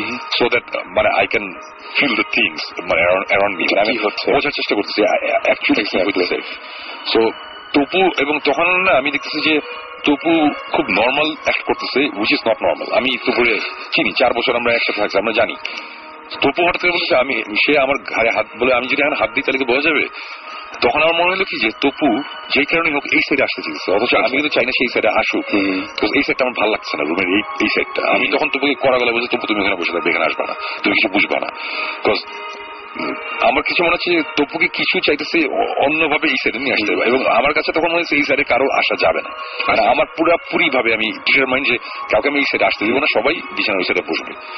এবং তারা ওখানে বসে আছে আর আমার চেহারার ফেশিয়াল এইগুলো তো আমি বুঝতে পারতেছিলাম না। তো আমাকে খালি বলছে আপনি খারাপ লাগতেছে নাকি? আমি বললাম না আমার খারাপ না। আমার আমার যেটা হইতেছে এটা যদি একটা মানুষের প্রেশার অনেক হাই হয়ে যায় অনেক জ্বর থাকে মানে ঘাটটার ব্যথা থাকে আমার ওরকম লাগতেছে। আর হয়তো বা প্রেশার শুট করছে। আমি মানে আমি এটা লজিক্যালি এক্সপ্লেন করার চেষ্টা করতেছি বাট আমি জাস্ট বাট ওই সময় আমি মনে মনে আমি যে জিনিসটা করতেছিলাম সেটা হচ্ছে যে আমি একটা জিনিসই যে তুমি কে আমি জানি না তুমি কি ব্যাপার আমি বুঝি না বাট আমি এতটুকু জানি। এটা আমার রুম এবং এই রুমের বালিশ কে খাটের নিচে নিবেন না নিবে ওটা ডিসিশন আমার এটা তোমার না। আমার রুমে আমি যা খুশি করব এটা তোমার করার কোনো রাইট নেই। You don't belong here you get out of my place আমি বারবারই কথা মানে মনে মনে আমি এটা করতেছি। বারবার মানে অ্যাজ ইফ আমি কারোর সাথে ঝগড়া মানে আমার পুরো ফিলিংটা ছিল কি যে আমি কারোর সাথে আসলেও একটা কনভারসেশনে আর আমি যখন বিড় করে এগুলো বলতেছি ওরা বুঝতেছে না। আমি ওদের বলেছি তোমরা মনে মনে আজান দাও এবং পরে তো পরে বলছে যে শোন ভাই আমি একামাত দেওয়া শুরু করছিলাম আমার আমার নিজেরও গা এখন শেষ করছে আলিফ- পরে বলে যে শোন ভাই আমি লাইলা পড়তেছি আর কিন্তু আমি আজান দিতে পারতেছি না মানে এরকম একটা সিচুয়েশন মানে সবাই ইয়ে ওই সময় ভুলেও যায় আসলে হ্যাঁ, ভয়ে মানুষ অনেক কিছু উল্টাপাল্টা খালি দিয়ে দিচ্ছে ফয়সাল চুপ করে ফয়সালের চেহারা পুরো এক্সপ্রেশনলেস ওর কোনো এক্সপ্রেশন নেই ও জাস্ট চুপ করে বসে আছে। ইশতিয়াক যে ফয়সাল ভাই সে পায়চারি করতেছে সে বোঝার চেষ্টা করতেছে কি আমি খালি এই সাইডে আসবে না। এই করতে করতে একটা সময় মুছে দাঁড়ায় পড়ছি। আমি দাঁড়ায় আমি পিছনের বারান্দার দরজাটা খুলছি যে বারান্দার থেকেও যায় না আর কি ওই বারান্দার দরজাটা খুলছি খুলে আমি দাঁড়ায় আছি আজ তুমি বাইরে হয়ে যাও। মানে আমি তখন আমি ওদের বুঝতে দিতে চাইতেছি না আমি কি করতে যাচ্ছি। আমি বারান্দায় গিয়ে তারপরে যেটা করলাম যে বারান্দায় গিয়ে আমি দরজা লাগিয়ে দিলাম। আমি বারান্দায় একা বসে আছি দাঁড়িয়ে আছি আর ওরা ভিতরে। আমার না আমার তো ফিলিংটা আমার মধ্যে আছে। যতক্ষণ ধরে ফিলিংটা আমার মধ্যে আছে ততক্ষণ তার মানে হচ্ছে যে দিস থিং অথবা এই ফিলিংটা অ্যারাউন্ড মি মানে হচ্ছে আমার আশেপাশে আছে। একদম। আমি চাইতেছি যে এই রুম থেকে জিনিসটা বাই করতে। আমি বারান্দায় গিয়ে দাঁড়াইছি অনেকক্ষণ দাঁড়ায় থাকতেছি আর আমি বলতেছি আমি জাস্ট বলছি গেট আউট শেষে এক সময় বেশ জোরেই বলছি যে গেট আউট থার্ড টাইম যখন জোরে বলছি ওটা বোধহয় তোমরা শুনছো হ্যাঁ। বারান্দা থেকে। এবং তখন যেই জিনিসটা হইল এটা হচ্ছে যে অ্যাজ ইফ আমার এই এই যে অস্বস্তি লাগে যে ঘাড়ের মধ্যে প্রেশার এই জিনিসটা পুরো ধুম মানে ধাম করে নাই। মানে আমি আগে বলছিলাম না যে ওয়েস্ট ভার্জিনিয়াতে ফোর্থ ফ্লোর থেকে যখন আমি সিঁড়িতে যাই আমরা সিঁড়িতে যাওয়ার সাথে সাথে মনে হলো একটা প্রশান্তি মানে একটা কিছু একটা নাই। নেমে গেল নেমে গেল ঠিক ওই ফিলিংটা এবং এই ফিলিংটার এক সেকেন্ড এদিক সেদিক আমার সামনে দুই তিনটা গাছ ছিল অন্ধকারে কিছু দেখা যাচ্ছে না। গাছের মধ্যে একটা আওয়াজ টাক টাক টাক এরকম তিনটা আওয়াজ আর একটা ডালপালা নড়ার একটা আওয়াজ। আমি বলতেছি না যে একটা কিছু আমার জিনিস ছিল উড়ে চলে গেছে গাছের মধ্যে। আমরা আসলে কিছুই বলছি না। আমরা- আমরা জাস্ট কি হয়েছিল সেটা হ্যাঁ, বলছি। এবং হয়তো গাছে তখন একটা কাঠ বিড়ালি বা কিছু থাকতেও পারে পারে। এটা আমি জাস্ট মনে করলাম মনে হলো যেটা বলার দরকার আছে। তো এই ঘটনা এটা হইল হওয়ার পরে আমি সাথে সাথে রুমের মধ্যে ঢুকছি। ঢোকার পরে তখন তখন আমি আহ, বলতেছে যে উনি কথা বলতেছে যে চলে গেছে সব কিন্তু উনি পিঠ চুলকাচ্ছিলেন। তো আমি ইয়ে করলাম সময় কি আপনার পিঠে কি হয়েছে? কি সমস্যা? তখন শুনলাম মানে আমার এখানে ব্যাপারটা ছিল কি আমরা এখানে যাওয়ার পরে কয়েক মিনিট তখন তো আমার আমি নর্মাল ভাবে শুরু করছি। ওই সময় মানে আমি তখন নর্মাল মানে কি আমি তখন মনে হচ্ছে যে কোনো প্রবলেমই নাই এই রুমের মধ্যে। We are very much protected কোনো অসুবিধা নাই। এভরিথিং ফাইন আমি হাসতেছিলাম যে আর যাই হয়েছে না হয়েছে বাট এখন আমরা ফাইন আমরা এখন সেই কোনো সমস্যা নাই। এগুলো বলতে বলতে বলতে আমি তখন বুঝতেছি আমার শরীর একটু ব্যথা করতেছে। তারপরে হঠাৎ করে বলতাম যে পিঠে বেশ ব্যথা করতেছে। আচ্ছা। পিঠের নিচ দিকটায় মানে বেশ মানে ব্যথাটা একটু বেশি। আমি তখন বললাম আমি তখন পিঠে হাত দিতেছি তখন তো আমার বলল যে ভাই কি সমস্যা কি? আমি ভাই বলে দেখো তো কি হচ্ছে। আমি তখন গেঞ্জি উঠাইছি উঠে যেটা দেখলাম যে ওনার মাঝখানে মেরুদণ্ড। আর বাকি কোনাকুনি ভাবে কোনাকুনি ভাবে পিপটা যদি কামড় দেয় মানুষজন বা মশা কামড় দিলে ফুলে যায় না চারপাশে উঁচা হয়ে যায়। হ্যাঁ, একদম। পুরো ডিজাইন করা তিন কোন এরকম দাগ মেরুদণ্ডের পাশ দিয়ে। মানে পিরামিড শেপের পিরামিড আচ্ছা। মানে একেবারে নট দেন যে আনইভেন এরকম কিছু না সিঙ্ক্রোনাইজ এবং এটার ভিডিও আছে আমাদের কাছে। পুরো সিঙ্ক্রোনাইজ একটার পর একটা ধান যেমন বুনলে যেরকম হয় ওরকম গ্যাপে গ্যাপে তিন করা মেরুদণ্ডের দুই পাশ দিয়ে নিচের দিকে নেমে গেছে। দাগ অনেকগুলা।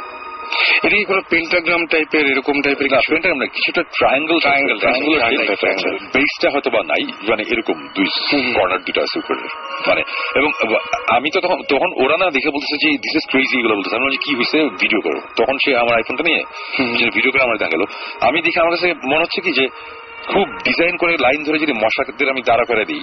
যদি এখন কামড়া রক্ত খাইবার চলে যাবে মানে খুলে যাবে। জিনিসটা আমার মানে খুবই উইয়ার্ড মানে আমি এই এই ব্যাপারটা আমি এখনও বুঝতে পারছি না এবং এই ভিডিওটা আমি সাকিব জীবন সবাইকে দেখাইছি। ওরা সবাই বলতেছে যে এটা কি? মানে এটা কীভাবে হবে?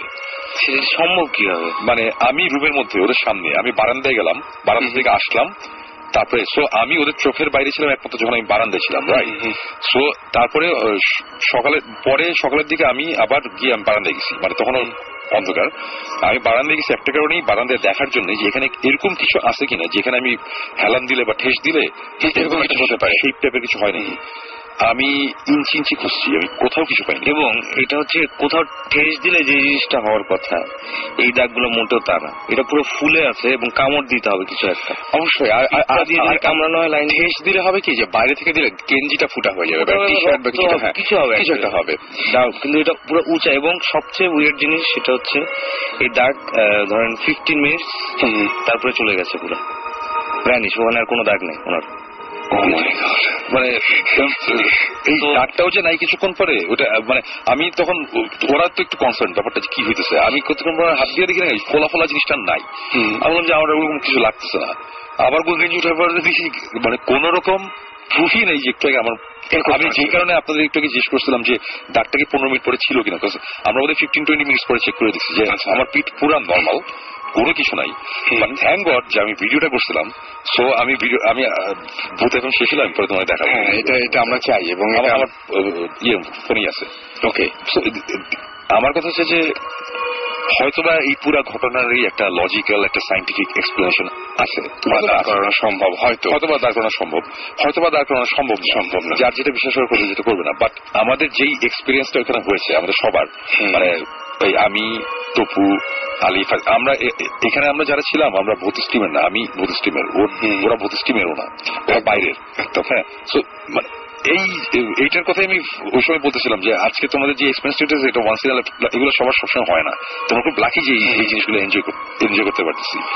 এবং এই ঘটনার পরে আমরা আবার রুমে চলে যাই। রুমে যাওয়ার পরে আমাদের রুমের অনেক জোরে ফ্যান ঘুরতেছে তো। হুম। তা আমি বলছি যে ফ্যান এত জোরে ঘুরতেছে আওয়াজ টাওয়াজ পাওয়া যাবে না ফ্যানটা বন্ধ করে দিই তাহলে আর- দু একবার টুকটাক আওয়াজ পেয়েছিলাম তো ইটস নট বিগ ডিল ফ্যানটা অফ করলাম এবং ফ্যানটা অফ করার পরে হঠাৎ করে মনে হলো কি উপরে টিনের চালে কেউ একটা কিছু দিয়ে টকে দিল টাক একটা আওয়াজ। এটা তো গাছ পেয়েছিল একবার। এবং আওয়াজটা পুরা টেম্পো আমরা যে মিউজিক শুনি না একটার সাথে আরেকটা যে গ্যাপ থাকে গ্যাপ ইজ সেম একটা আওয়াজ হইল দুই সেকেন্ড পর আরেকটা আওয়াজ হলো একটু সামনের দিকে। দুই সেকেন্ড পর মানে আরেকটা আওয়াজ হলো একটা এখন এটা হতে পারে কোন একটা ডিভাইস কোন একটা ইকুইপমেন্ট কোন কিছু একটা আওয়াজ আসতেছে। বাট ইন্টারেস্টিং ব্যাপার হচ্ছে আওয়াজটা শুরু হয়েছে হচ্ছে রুমের কর্নার থেকে উপর সিলিং থেকে। মানে আমি একটু এক্সপ্লেন করি। আমাদের বাসাটা হচ্ছে টিন শেড আর নিচে ফল সিলিং রুমের মধ্যে ফল সিলিং দেখা থেকে টি শার্টটা দেখা যায় সো ধরলাম যে কোনাকুনি কোন একটা জায়গায় টিনের মধ্যে একটা আওয়াজ টাক একটা আওয়াজ। তার সে কয়েক সেকেন্ড পরে পুরো তালে তালে মানে এই জিনিসগুলো আমরা ওখানে আমরা চারজন মিউজিশিয়ান একদম একদম একদম। তারপর একটু পরে আবার টাক আবার একটু পরে টাক। কিন্তু ইন্টারেস্টিং ব্যাপার হচ্ছে আওয়াজটা কর্নার থেকে আস্তে আস্তে মাঝখানে আসছে। আগাচ্ছে মানে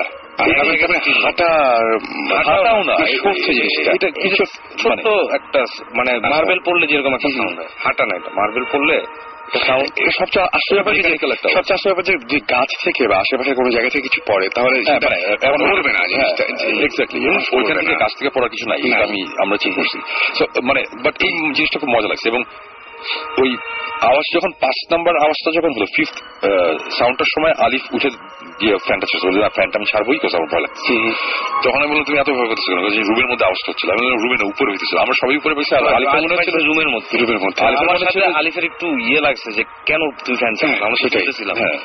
আলিফ আবার এতই ভয় পাইছে এবং সে ফিল করছে রুমে তার তার তার এক্সপ্লেনেশনটা হচ্ছে আওয়াজটা তার দিকে আসতেছিল কিন্তু এটা খাটের নিচ থেকে। ও মাই আর আমাদের এক্সপ্লেনেশনটা হচ্ছে যেটা টিন শেডের উপর থেকে। মানে আমরা একটু কনফিউজ এই কারণে আলিফ এত ভয় পেয়েছে। তখন বলে যে শোনো আমি এরকম শুনতেছিলাম।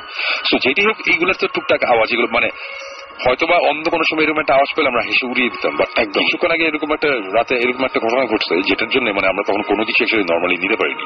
স্বাভাবিক খুবই স্বাভাবিক খুবই স্বাভাবিক।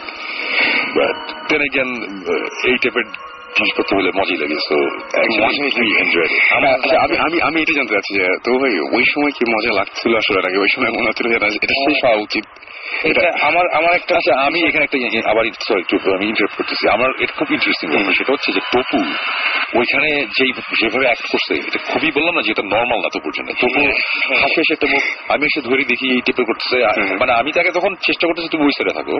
বাট ওই রুম থেকে বের হয়ে যাওয়ার পর যখন এই রুমে গেছে তখন কিন্তু তবু বলতেছে যে সময় আমার অনেক ভালো লাগছে। মানে তখন তপু পুরো অ্যাজ ইফ এতক্ষণ তপুর মানে তপুর মধ্যে ছিলেন না, এরকম মানে ভয়ের সুইচটা অফ করা ছিল। হ্যাঁ। আসার পর এখন সুইচটা আবার অন করছে। বা চার্জ চলে গেছিল আবার চার্জ হয়েছে মানে রুমে আসার পর তবু বলছে কি আমি এখন বাথরুমে যেতে পারছি না আমার ভয় লাগছে শুনবে মানে সে তখন অনেক বুঝতেছি। তোর ভয় লাগার কথা। বাট এর আগে কিন্তু তুমি আমার কোনো কিছুই লাগতেছিল না কোনো ভয় লাগতেছিল আচ্ছা ওই যখন একদম সামনাসামনি দেখছেন সুমন ভাইকে ওই সময় ওই সময় ভয় লাগছে ভয় না আমি কিউরিসিটি ফিল করছিলাম যে আমি গিয়ে দেখি ধরে যে কিছু আছে নাকি ওখানে। বাট ওই রূপটা থেকে যখন আগে আরেক চলে গেলাম আমি একেবারে ভয় শেষ। আমি এক হাটের মাঝখানে মানে কোনারে কর্নারে বসতে ভয় পাচ্ছি আমি খাটে। মাঝখানে বসে আছি এই শব্দ টব্দ এক্সপিরিয়েন্স করছি এবং আমি ওয়াশরুমে যেতে আমার ভয় লাগছিল যেটা রুমের সাথে অ্যাটাচ সো এই হচ্ছে কাহিনী এবং আমি জানি না আমার জীবনে কোনোদিন এরকম এক্সপিরিয়েন্স হয়নি তবে ওই আগের যে ঘটনা ওইটা আমরা পরে ওটা। এখন বলা এখন বলার দরকার নেই। আচ্ছা। এই হচ্ছে মানে এটা আমার কোনো এক্সপ্লেনেশন আমি সবগুলার লজিক্যাল চিন্তা করার চেষ্টা করেছি। বালিশ খাটের নিচে বোতল উপরে হুম। সবকিছু আমি মানছি যে এটা হইতে পারে। আমাদের কাজটা এটা কেউ হ্যাঁ। ওখানে আমাদের মতিন ভাই ছিল মতি ভাই। হ্যাঁ, মানে আমার এক্সপ্রেশন হচ্ছে ঠিক আছে হয়তো বা তবু ফাইজলামি করে এটা করছে বালিশ। বটল রাখছে অথবা ইস্তেক করছে আর ইস্তেক মনে করছে হয়তো আমি করছি বা তবু মানে আমরা এগুলো সবকিছুরই এক্সপ্রেশন দিতেছি এবং দিলাম।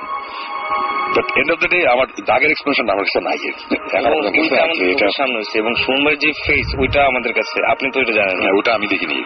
যে ওনার যে ফেস আমি তো চার বছর ওনার সব ধরনের ফেস আমি দেখছি রাগ দুঃখ কান্না হাসি সবই দেখছি। বাট এইরকম এক্সপ্রেশন আমি জীবনে দেখিনি মানে তার সবগুলো রক বের হয়েছে এবং একটা মানুষের নিচ থেকে এটা করা ইম্পসিবল একটা ব্যাপার। ফেসের প্রত্যেকটা রক দেখা যাচ্ছে তার। এটা খুব অদ্ভুত ব্যাপার এমনি গলা টলার সময় দেখা যেতে পারে কিন্তু ফেস না, কপালের রগ বের হয়ে গেছে। প্লাস হচ্ছে পিঠের দাগ। পিছের একটা তো explanation কোনো নাই। এটা নেই। 50 একটা পিছে- বেরে- একটা ডিজাইন করা যেটা শুনলাম সো এটার কোনো আমি লজিক পাই। অন্যগুলো আমি যাই হোক আমি চিন্তা করতেছি যে ওইটা হইতে পারে যে কেউ করতে পারে এটা কোনো কিছু না, কিন্তু ওই জিনিসের কোনো লজিক কাছে না। এ ধরনের ঘটনা আপনাদের অনেকই থাকতে পারে, যারা শুনছেন আমাদেরকে, তাই বলব যে, যদি জানা থাকে আপনাদের এরকম কোনো কিছু, তাহলে অবশ্যই আমাদের এস এম এস করুন, লিখে ফেলুন S H O U T shout space আপনার নাম স্পেস আপনার মেসেজ পাঠিয়ে দেন নাইন ফোর জিরো নাম্বারে আর আমাদের যদি এস এম এস করে তো ছোট করে লিখতে হয়, যদি বড় সড়ো কোনো ধরনের, কোনো ঘটনা শেয়ার করতে চান, তাহলে আমাদের মেইল করুন আর মেইল করতে হবে হচ্ছে shout Bhoot F M Bhoot F M হলে আমি স্পেলিংটা একটু বলে দিই B H double T Bhoot F M at the rate radio Foorti dot F M A S M S আপনি আপনি ইচ্ছা করলে আপনার ইমেল করে আপনার ঘটনাগুলো শেয়ার করতে পারেন। আমি বলতে পারব যে আমাদেরকে এই মুহূর্তে দেখতে পাচ্ছি যে জাকি আমাদের এস এম এস করেছেন, এছাড়া এস এম এস করেছেন শাফিন এস এম এস করেছেন দীর্ঘদিন আচ্ছা এস এম এস করেছেন মুন্না, এছাড়াও এছাড়াও আমাদের এস এম এস করেছেন হাসান হাসান ভৌতিস টিম আচ্ছা। ভূত এফএম এর আচ্ছা ভৌতিস টিম এবং ভূত এফএম এর কাছে। পিঞ্জু আমাদের এস এম এস করেছেন। এছাড়াও ভুবান, ইশাক, চমক, রাফায়াত, আরশিয়া, নাভিদ, পলাশ রনু এবং আমাদের এস এম এস করেছেন শ্যামল, ওয়াসেক সহ আরও অনেকে। থ্যাংক ইউ আমাদের সাথে থাকার জন্য। অ্যান্ড আমরা কি একদম একটা একটা গান শুনে আসি। ফুয়াদ ফিচারিং তপু এবং আনিদার একটাই গান শুনে আসব এবং তারপরে আমরা আবার ব্যাক করব। So stadium radio Foorti and don't stop the Foorti. ফিরে আসছি একটু পরেই।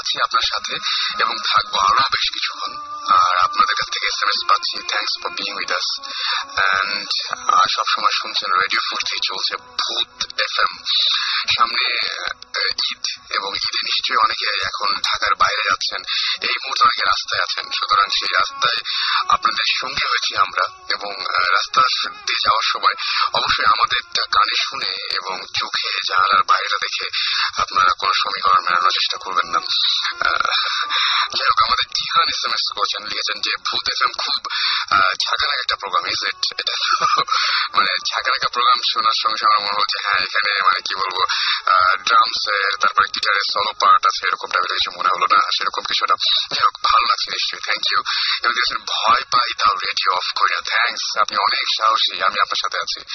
আর অঞ্জন লিখেছেন ভাইয়া আমার এফ এম শুনলে ভীষণ রকমের অনুভূতি হয়, ভীষণ রোমাঞ্চকর অনুভূতি হয়। অলরাইট আমার নিজেরই হয় ভাই।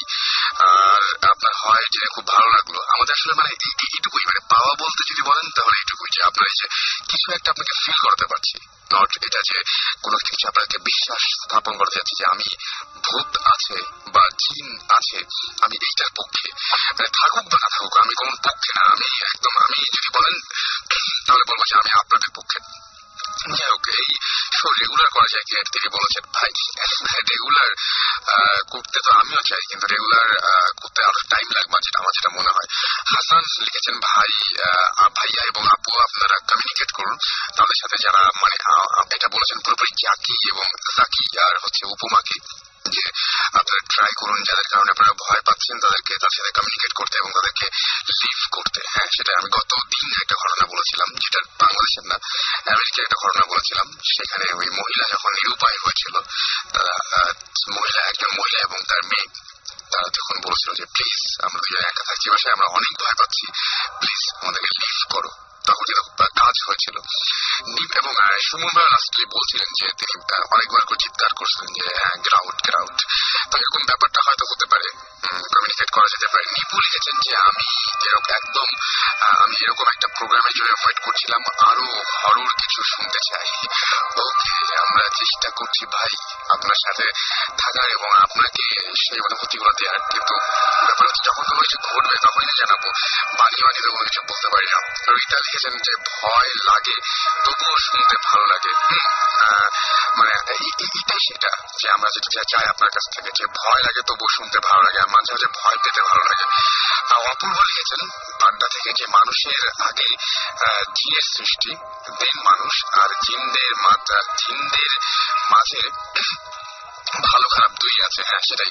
জিনদের মাঝে আমিও বলব যে ভালো খারাপ দুই আছে। সো আমি সেটাই বলব যে আপনাদের এরকম জানা যে সমস্ত ঘটনা আছে, সেই ঘটনাগুলো জানাতে আমাকে এস এম এস করুন, লিখে ফেলুন S H O U T space আপনার নাম স্পেস আপনার মেসেজ পাঠিয়ে দিন নাইন এইট ফোর জিরো নাম্বারে এই মুহূর্তে আমার সাথে আমি দেখতে পাচ্ছি যে আরও কিছু এস এম এস রয়েছে। এস এম এস করেছেন আমাদের ফুয়াদ এবং তিনিও একটা ঘটনা শেয়ার করতে চেয়েছিলেন এবং সেই ঘটনাটা তিনি যখন ক্লাস আচ্ছা নাইন আচ্ছা ও প্রায় নাইন ইয়ার্স একটা একটা ফ্রেন্ড পজেস ছিল, সেই ঘটনা শেয়ার করতে চেয়েছেন। রাইট আমি- আমি প্রতিদিন অসংখ্য ইমেল পাই আপনাদের কাছ থেকে, এবং সেই ইমেলগুলো আসলে পড়ার জন্য প্রচুর সময় দরকার। আমরা চেষ্টা করি সেই ইমেলগুলো সব পড়ার জন্য, কিন্তু অনেক সময় পড়া হয় না। আমাদের সেই ইমেলগুলো পড়তে ইচ্ছে করে আমাদেরকে, যেমন ইমেল করেছেন নেহা রাজশাহী থেকে। আমাদেরকে এছাড়াও আরও অনেকেই, আমি একটু নামগুলো বলতে চাই একে একে আমাদেরকে দেখতে পাচ্ছি যে আরফান সুত্তা এস এম এস করে ইমেল করেছেন ইমেল করেছেন Shahriar Apon dark king three ফিবা ফিবা Mahmud Rakib Joy Nafis Hossain তো ইমেল করার অ্যাড্রেসটা আমি একটু বলি এছাড়াও দীপ্ত এছাড়াও আমাদের এস এম এস করেছেন শাহরিয়া আচ্ছা শাহরিয়ার আপনাকে অনেকগুলো সোহেল উদ্দিন সহ আরও অনেকে সুতরাং যারা ইমেল করতে চান তারা সাউথ তাদের যেটা করতে হবে Bhoot F M at the rate radio Foorti dot F M এখানে আপনাদের নাম ঠিকানা এবং ফোন নাম্বার সহ আপনাদের ইমেলটা করতে হবে আমাকে রাজশাহী থেকে মিলন কুমার ইমেল করেছেন এবং তিনি বলছেন দু সাত সালের এক অমাবস্যার রাতে তিনি ঘুমিয়েছিলেন এবং রাত প্রায় দুইটা, তিনটার দিকে ঘোড়ার পায়ের শব্দ শোনেন তিনি এবং তারা দুজনেই ঘরের মধ্যে ছিলেন দুজন ছিলেন দুজনই ঘরে শুনতে পেয়েছিলেন এটা এবং তার ঘরের পাশে চিকন রাস্তা আছে, যেমন পায়ে হাঁটার রাস্তা, সুতরাং তিনি ভয়ে লাভ দিয়ে উঠে জানালে তাকিয়ে দেখলেন যে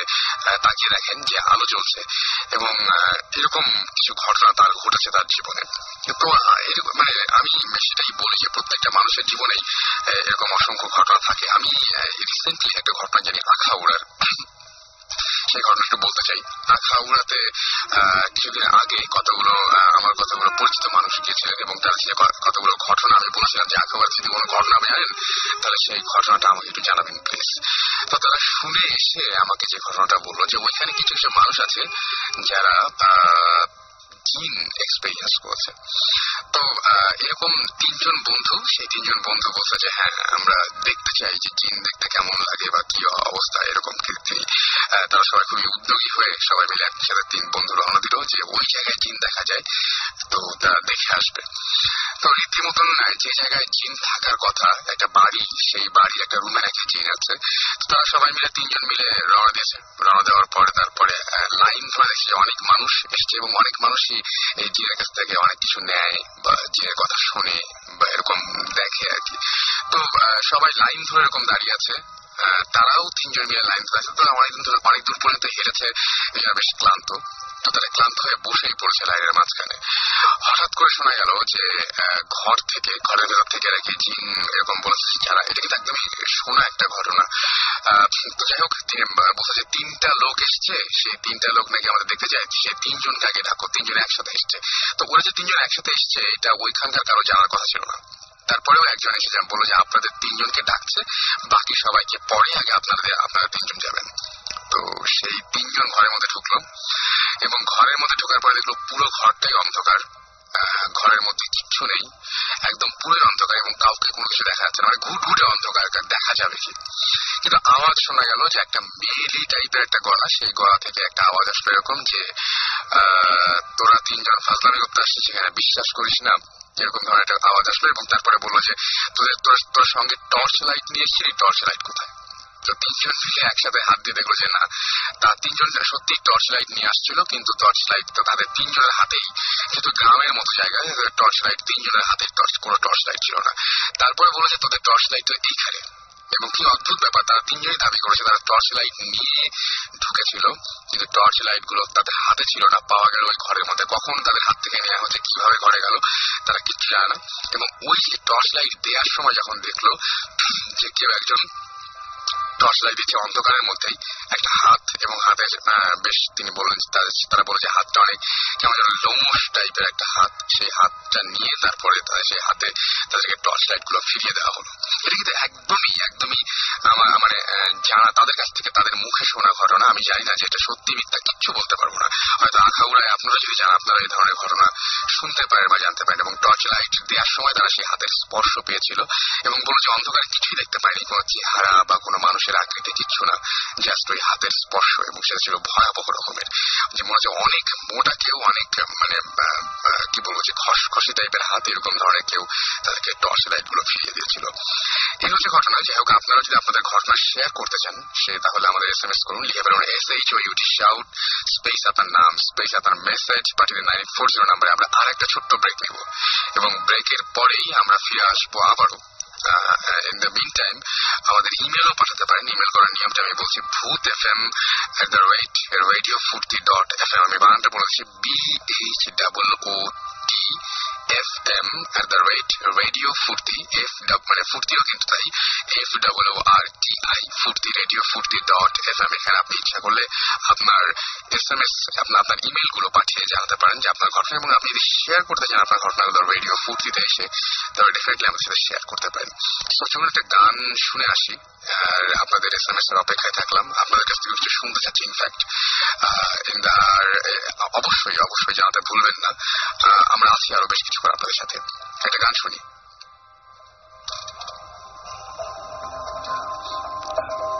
সাথে থাকুন ফিরে আসছি, একটু পরে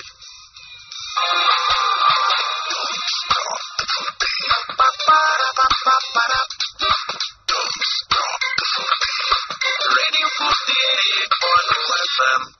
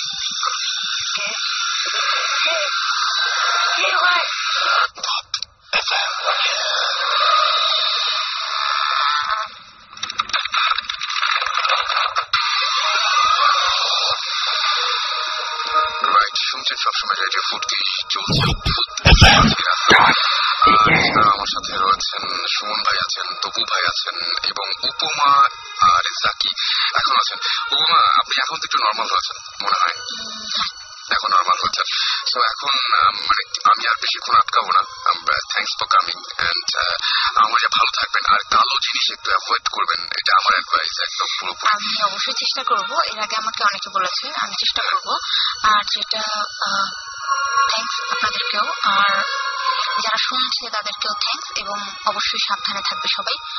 আর আমি একটা জিনিস খুব ফলো করি, যেটা হলো যে প্রতিদিন মাগরিবের নামাজের শেষে আমি তিনবার আয়তুল কুরসি পড়ি এবং সকালে ফজরের নামাজের পর তিনবার পড়ি। তো এই জিনিসটা আমি খুব ফলো করি এবং আমার মনে হয় আল্লাহর রহমতে আমার উপর থেকে অনেক বিপদ গেছে অনেক, এবং অনেক অ্যাটাকের চেষ্টা আমার উপরে হয়েছে বাট আল্লাহর রহমতে এখন আমি দিব্যি বেঁচে আছি আপনাদের সঙ্গে সুস্থ শরীরে আছি। আমার মনে হয় যে আরও আপনি অনেকদিন দীর্ঘদিন এরকম সুস্থই থাকবেন। এবং আমরা সবাইকে চাই যে এরকম সবাই ফলো করুক এরকম কিছু ব্যাপার। আর বিশ্বাস করা না করা তাদের ব্যাপার। আমি যে বললাম আমার এক্সপিরিয়েন্স শেয়ার করলাম তো এটা কেউ বিশ্বাস করেছে কি করেছে না আমার এটা কোনো না না এটা আসলে কোনো আসলে কোনো ব্যাপার আমার সাথে হয়েছে আমি ফিল করেছি আমি সবার সাথে শেয়ার করলাম আপনাদের সাথে করলাম সবার সাথে করলাম। শুনে কার কীরকম লেগেছে সেটা তাদের ব্যাপার। তবে হ্যাঁ পৃথিবীতে যেহেতু আমরা যেহেতু মুসলমান আল্লাহ বিশ্বাস করি আল্লাহর কোরআন বিশ্বাস করি তো সেখানে একটা স্পষ্ট উল্লেখ আছে যে আল্লাহ দুইটা জিনিস বানাইছে। একটা হচ্ছে জিন একটা হচ্ছে ইনসান। আমরা হচ্ছে ইনসান।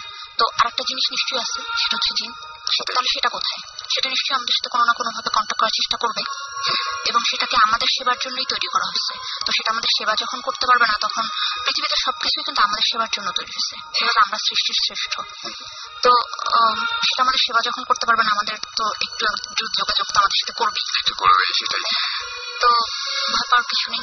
তারাও তাদেরকে আমরা। পাওয়ারফুল একদম একদম। আমাদের সবাই যারা আছেন তারা অনেক সাহসী। জাকি ভাই আপনি আপনাকেও অনেক আমরা মনে হয় জাকি ভাই আপনাকেও থ্যাঙ্কস যে আমরা বলার সঙ্গে সঙ্গে আপনারা রাজি হয়ে গিয়েছিলেন এবং আজকে কষ্ট করে এত রাত পর্যন্ত আমাদের সঙ্গে আছেন। অনেক ধন্যবাদ আপনাকে। জি আপনাকেও ধন্যবাদ। রেডিও ফুর্তির সবাইকে আজকে যারা আছেন বিশেষ করে সুমন ভাই।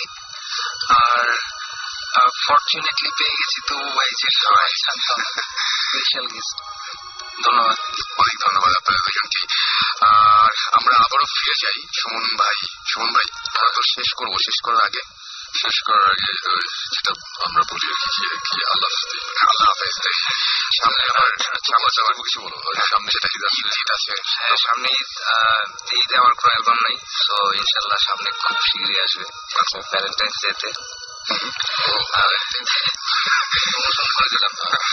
আরেকটা হচ্ছে কি এই এইসব এই জিনিসগুলো এটা সুমন ভাই আমার চেয়ে অনেক বেশি এক্সপিরিয়েন্স এবং আমার মনে হয় ওই দিন আমি অনেক সাহসী ছিলাম বিকজ সুমন ভাই ওখানে ছিল। সো এরকম খুব বেশি এক্সপিরিয়েন্স করার ইচ্ছা আমার ভবিষ্যতে নাই সুমন ভাই আগের থেকে অসুবিধা নেই। বাট ইনশাল্লাহ সুমন ভাই যে কাজটা করছে এটা আমি মনে করি যে আমরা এই গল্পটা করছিলাম যে মানুষ ভূত ভুলে গেছে। আগে আমরা ভূতের গল্প শুনতাম। শুনে ভয় পেতাম। দাদা দিন শোনাতেন। ওই জিনিসটা আর এখন দেখা যায় খুব অদ্ভুত ব্যাপার কি আমরা যখন ভূতের এই যে ভূত এফ এম করতে গেলাম আমি যখন দেখি যে ফুর্তির গেট দিয়ে বের হওয়ার সময় এখান থেকে শুরু করে সিঁড়িতে যতগুলো লোকের সাথে দেখা হয় প্রত্যেকটা লোকে যদি বলে যে ভাই ভূতের কোনো ঘটনা আছে কি আপনার? হ্যাঁ, আছে। গাড়িতে ওঠা পর্যন্ত আমি শুনলাম যে হ্যাঁ যিনি গাড়িটা চালাচ্ছেন তার কাছেও ভূতের ঘটনা আছে। মানে প্রত্যেকটা মানুষ কিছু না কিছু হলেও জানে। এটা আসলে ভূত কি? ভূত না এটা সময় ভালো জানে। মানে আনএক্সপ্লেন কিছু জিনিস যেটা আমরা এক্সপ্লেন করতে পারছি না মানে এক্সপ্লেনেশন নাই ওইটারই আমরা কেউ বলি কেউ এটা বলি এটা মানে so ওইটা যার যার পার্সপেক্টিভ একদম বাট হ্যাঁ মানে এই যে তবু যেটা বলছিল যে এই- এই এইসব জিনিসপত্র যে আনএক্সপ্লেন ফেনামেনা বলি বা যাই বলি ঘটনা এইসব জিনিসের কথা মানুষজন আগের মতো আর কথা বলে না সব মানে সবকিছু একটা চেঞ্জ হয় সোসাইটি থেকে শুরু করে সবকিছু আমি আজকেও তোর সাথে আলাপ করছিলাম যে এখন আমরা অনেকেই নতুন জেনারেশন আমরা বিজি ফেসবুক বা গান বলি বা যাই বলি ইন্টারনেট অনেক কিছু নিয়ে আমরা একটা সময় কিন্তু আমাদের মধ্যে একটা ব্যাপার ছিল, ছোটবেলায় আমরা একসাথে বসে ভূতের গল্প শুনতাম বা পড়তাম বা গল্পের বই পড়তাম। এক সময় নিউ মার্কেটে ভয়ঙ্কর রকম সব বই পাওয়া যেত ভূতের গল্প নামে ভৌতিক গল্প নামে one two three four five six part এখন কিন্তু দেখা যায় না। সো ওইটাই ভূত মানুষজন বা এই ভূত কনসেপ্টটা বা এই আনএক্সপ্লেন জিনিসপত্রের কনসেপ্টটা মানুষজন মনে ভুলে গিয়েছিল বাট থ্যাংকস টু রেডিও ফুর্তি আমি আজকে চিটাং থেকে আসলাম এবং আমার সাথে যত মানুষের দেখা হয়েছে রাস্তাঘাটে যাতে আমি চিনি না ইউজুয়ালি বলে যে আমি আপনার খুব ভালো ফ্যান এই গানটা ভালো হয়েছে ওটাই ব্যাপার এখন এটার সাথে নতুন একটা জিনিস অ্যাড ভৌতিস যে হচ্ছে এই যে আসতেছে আহ, আমরা which is very good for us actually because আমরা চাই মানুষজন একটু শুনুক মানুষজন মজা পাক ভয় পাক, সেটাই একটা কিছু করলে প্রথমে তো মানুষজন একটু অন্যভাবে নিবেই সেটাই কেউ আবার বলবে আহ, নতুন একটা জিনিস সেটা ভালো সো একটা নতুন একটা মাত্রা যোগ হোক এইসব এন্টারটেনমেন্টের খারাপ দিক সো এনিওয়েজ আর ওই তৎপরতা ধরে বলছি সামনে ঈদে আমাদের আমার আমার বা আমার অর্থনের কোনো অ্যালবাম নেই। বাট এই মুহূর্তে আমি ডেতে কোনো অ্যালবাম ব্যাক করার আমার প্ল্যান নাই। অ্যাকচুয়ালি করেছি, খুব সুকৌশলে খুব সুন্দর একটা বুদ্ধি। অ্যালবাম অনেক বিক্রি হবে সেটাই। তো পুরো অ্যালবাম ভ্যালেন্টাইন্স ডেতে মানে ব্যাপারটা কিন্তু একে হবে। অন্যরকম যাই হোক থ্যাংকস ফর লিসনিং যারা যারা আজকে শুনেছেন অসংখ্য ধন্যবাদ এবং নেক্সট উইক তো ঈদের সময় তো ওই সময় আমরা কবে কেমন ঈদের আসলে আমাদের প্ল্যানটা কেমন জানি না এখন না আমরা এখনও জানি না। তবে আমরা আমরা অনেকেই তো বলছে যে শো রিপিট করতে অনেক অনেকগুলো শো তো আমরা চেষ্টা করব যে বেস্ট অফ এরকম কিছু একটা করার বা কিছু দেখা যাক আমরা চেষ্টা করছি সেটা। হোপফুলি এরকম কিছু একটা হবে। হ্যাঁ তাহলে তো খুবই মজার একটা হয়ে মজা করে ফাইন সো নেক্সট উইকে আমরা সশরীরে বা লাইভ আমরা না থাকলেও আমরা কোনো না কোনো ভাবে থাকব। একদম একদম। আর আরেকটা জিনিস হচ্ছে বুদ্ধিস্টের শুটিং ট্রেন নিয়ে আমরা খুবই জোরের উপরে জোরের উপরে লিটারেলি সো সবসময় আমরা সবাই আসতে পারছি না বাট দেন আগে আমরা চেষ্টা করছি। তো মাঝে মাঝে আমাদের একটু সেদিক হয় মিসলিস হয়। সো এই জিনিসটা অ্যাকচুয়ালি সময় আমার মনে হয় যারা যারা শুনছেন, তাদের বেশি বেশি আসতে হবে। এক্স্যাক্টলি আমার মনে হয় যে অনেক মানুষ অনেকের কাছে অনেক ধরনের এক্সপিরিয়েন্স অনেক স্টোরি থাকে। এরকমও যদি হয় যে কারও কাছে খুব ইন্টারেস্টিং স্টোরি আছে, উনি নাম প্রকাশ করতে যাচ্ছেন যাচ্ছেন না নেম প্লেস এগুলো উচ্চ রেখে বলতে চান? অবশ্যই বলতে পারেন আমরা পুরোপুরি কনফিডেন্সিয়ালিটি আমরা মেনটেন করব এবং আপনি এসে কথা বলে চলে যাবেন কেউ কাউকে বলব না। অথবা আপনি যদি কথা বলতে নাও চান আমরা নিজেরাই বলব না একদম সমস্যা না একদম। বাট আমরা চাই মানুষজনের এক্সপিরিয়েন্স বা কোনো রকম কনফিউশন বা কোনো রকম আনএক্সপ্লেন কোনো ফেরা কিছু থাকলে আমাদের বলুক তাহলে আমরা নতুন জিনিস পাবো। আহ, আমরা তো মাত্র তিনজন মানুষ আর ওই দিকে আসল এই আমরা চার পাঁচজন মিলে আমাদের তো আর প্রতিদিন পুলিশ আমাদের সাথে দেখা করে করে না। তো ব্যাপারটা। এনিওয়েজ থ্যাংকস ফর লিসনিং এবং আহ, আজকে অ্যাকচুয়ালি ভালো লাগল অনেক অনেক অনেক আসলে আসে অনেক ভালো। লাগল ধন্যবাদ আসলে আপনাকে ধন্যবাদ।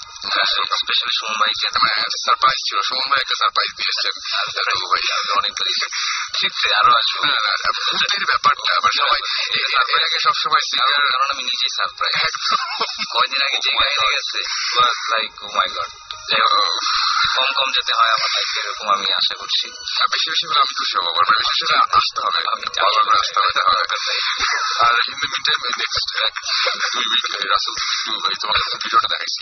একদম একদম তুমি আচ্ছা আমি আমি আমি না ওটা বললামই না তো আমি তো মানে আমি দেখে চমকা আমি যতটুকু মনে করেছিলাম যে ধানগুলোর মতো কিন্তু এতটা জায়গা জুড়ে মানে অর্ধেক দিকটাই পুরো ভরে আছে এতটা ডিজাস্টার হয়েছে আমি মানে এটা এটা চিন্তা করি না আমি যখন ভিডিও দেখলাম তখন ভাবছি ও মা ও মাই গড এত হিউজ মানে আর সবচেয়ে মজার ব্যাপারটা ছিল ওইটাই যে আমি আমি নিজে কিছু টের পাইনি কখন টের পেল। আমার দিয়ে গেল আর না সব মানে যারা আপনাকে দেখেছে তারা টের পেয়েছে। সবাই দেখছি তাদের এই এটাই আমি কম বুঝেছি। এবং আপনি বুঝছেন আপনি কিন্তু জিনিস পেয়েছেন সেটা হচ্ছে আপনার চেহারা দেখে ওরা একদম ফিল করছে ওদের চেহারা দেখে আপনি বুঝতে পারছেন যে আপনার চেহারা কি আছে এটা তো এনিওয়েজ আজকে তাহলে আমাদের যাওয়ার টাইম হয়ে গেছে। তুমি চাইলে আরও দুই ঘণ্টা চালাতে না কোনো শখ নাই আমি একা একা মানে যে মাসুম আমি আহ, গত মানে একটা বলি যে মাসুম গত ঈদে যেটা হয়েছিল গত ঈদে মাসুম এরকম ভাবে আমি বলছিলাম কিছু মিউজিক টিউজিক আমাদের এরকম ঠিকঠাক করতে হবে। আর ভূত এফএমের আগের শো গুলো একটু শুনতে বলছিলাম আর কি মাসুম যে মাসুম শুনতে হবে। তো আমরা অফিস লিভ করছি এই সময়। সে আমাকে এসে বলল মানে আমাদের ইঞ্জিনিয়ার কথা বলছি এসে আমাদেরকে জাস্ট বলল যে আপনারা সবাই চলে যাচ্ছেন আপনারা কি মনে করেন যে আমি এই সময় ওই ওই শো এর ওইগুলো একা একা শুনব? আপনার পাগল পাইছেন ব্যাপারটা যেটা একা একা করা ঠিক না। আমার মনে হয় যে আমরা বিদায় বিদায় নিই এবং ঈদের আগে যেহেতু আজকে শেষ হয়ে যাচ্ছে সবাই ঈদ মোবারক ভালো থাকবেন। সবাই ভালো থাকবেন। আর এবার একটু গরু টরু কম দেখা যাচ্ছে শহরে। কম দেখা যাচ্ছে। এনিওয়ে ইনশাআল্লাহ এর সাথে ভূতের কোনো সম্পর্ক নেই। এর সাথে কোনো কোনো সম্পর্ক আমরা অ্যাসিডিটি দিতে ভূত রেড মিট খায় না। পুতিশ মাছ টাছ এরকম শুনছিলাম এরকম নাকি অনেক কিছু খায়। যাই হোক, আপনারা সবাই ভালো থাকবেন, সুস্থ থাকবেন, বিশেষ করে সুস্থ থাকলে আপনারা সাহসী থাকবেন, সাহস থাকলে ভূত এফএম শুনতে পারবেন, এবং অবশ্যই আমাদের সাথে থাকবেন। আজকের মতো এখানেই বিদায় নিচ্ছি, এবং যাওয়ার আগে আরও একবার রাফা ফিচারিং তো আমার খুব আমার খুব ভালো লাগে গানটা, এবং সত্যি একটু প্রসূর তো আসলে এই জায়গাটাতে শেখে স্টেজ ফুর্তি অ্যান্ড ডোন্ট স্টপ দ্য ফুর্তি, কথা হবে আবারও আগামীকাল।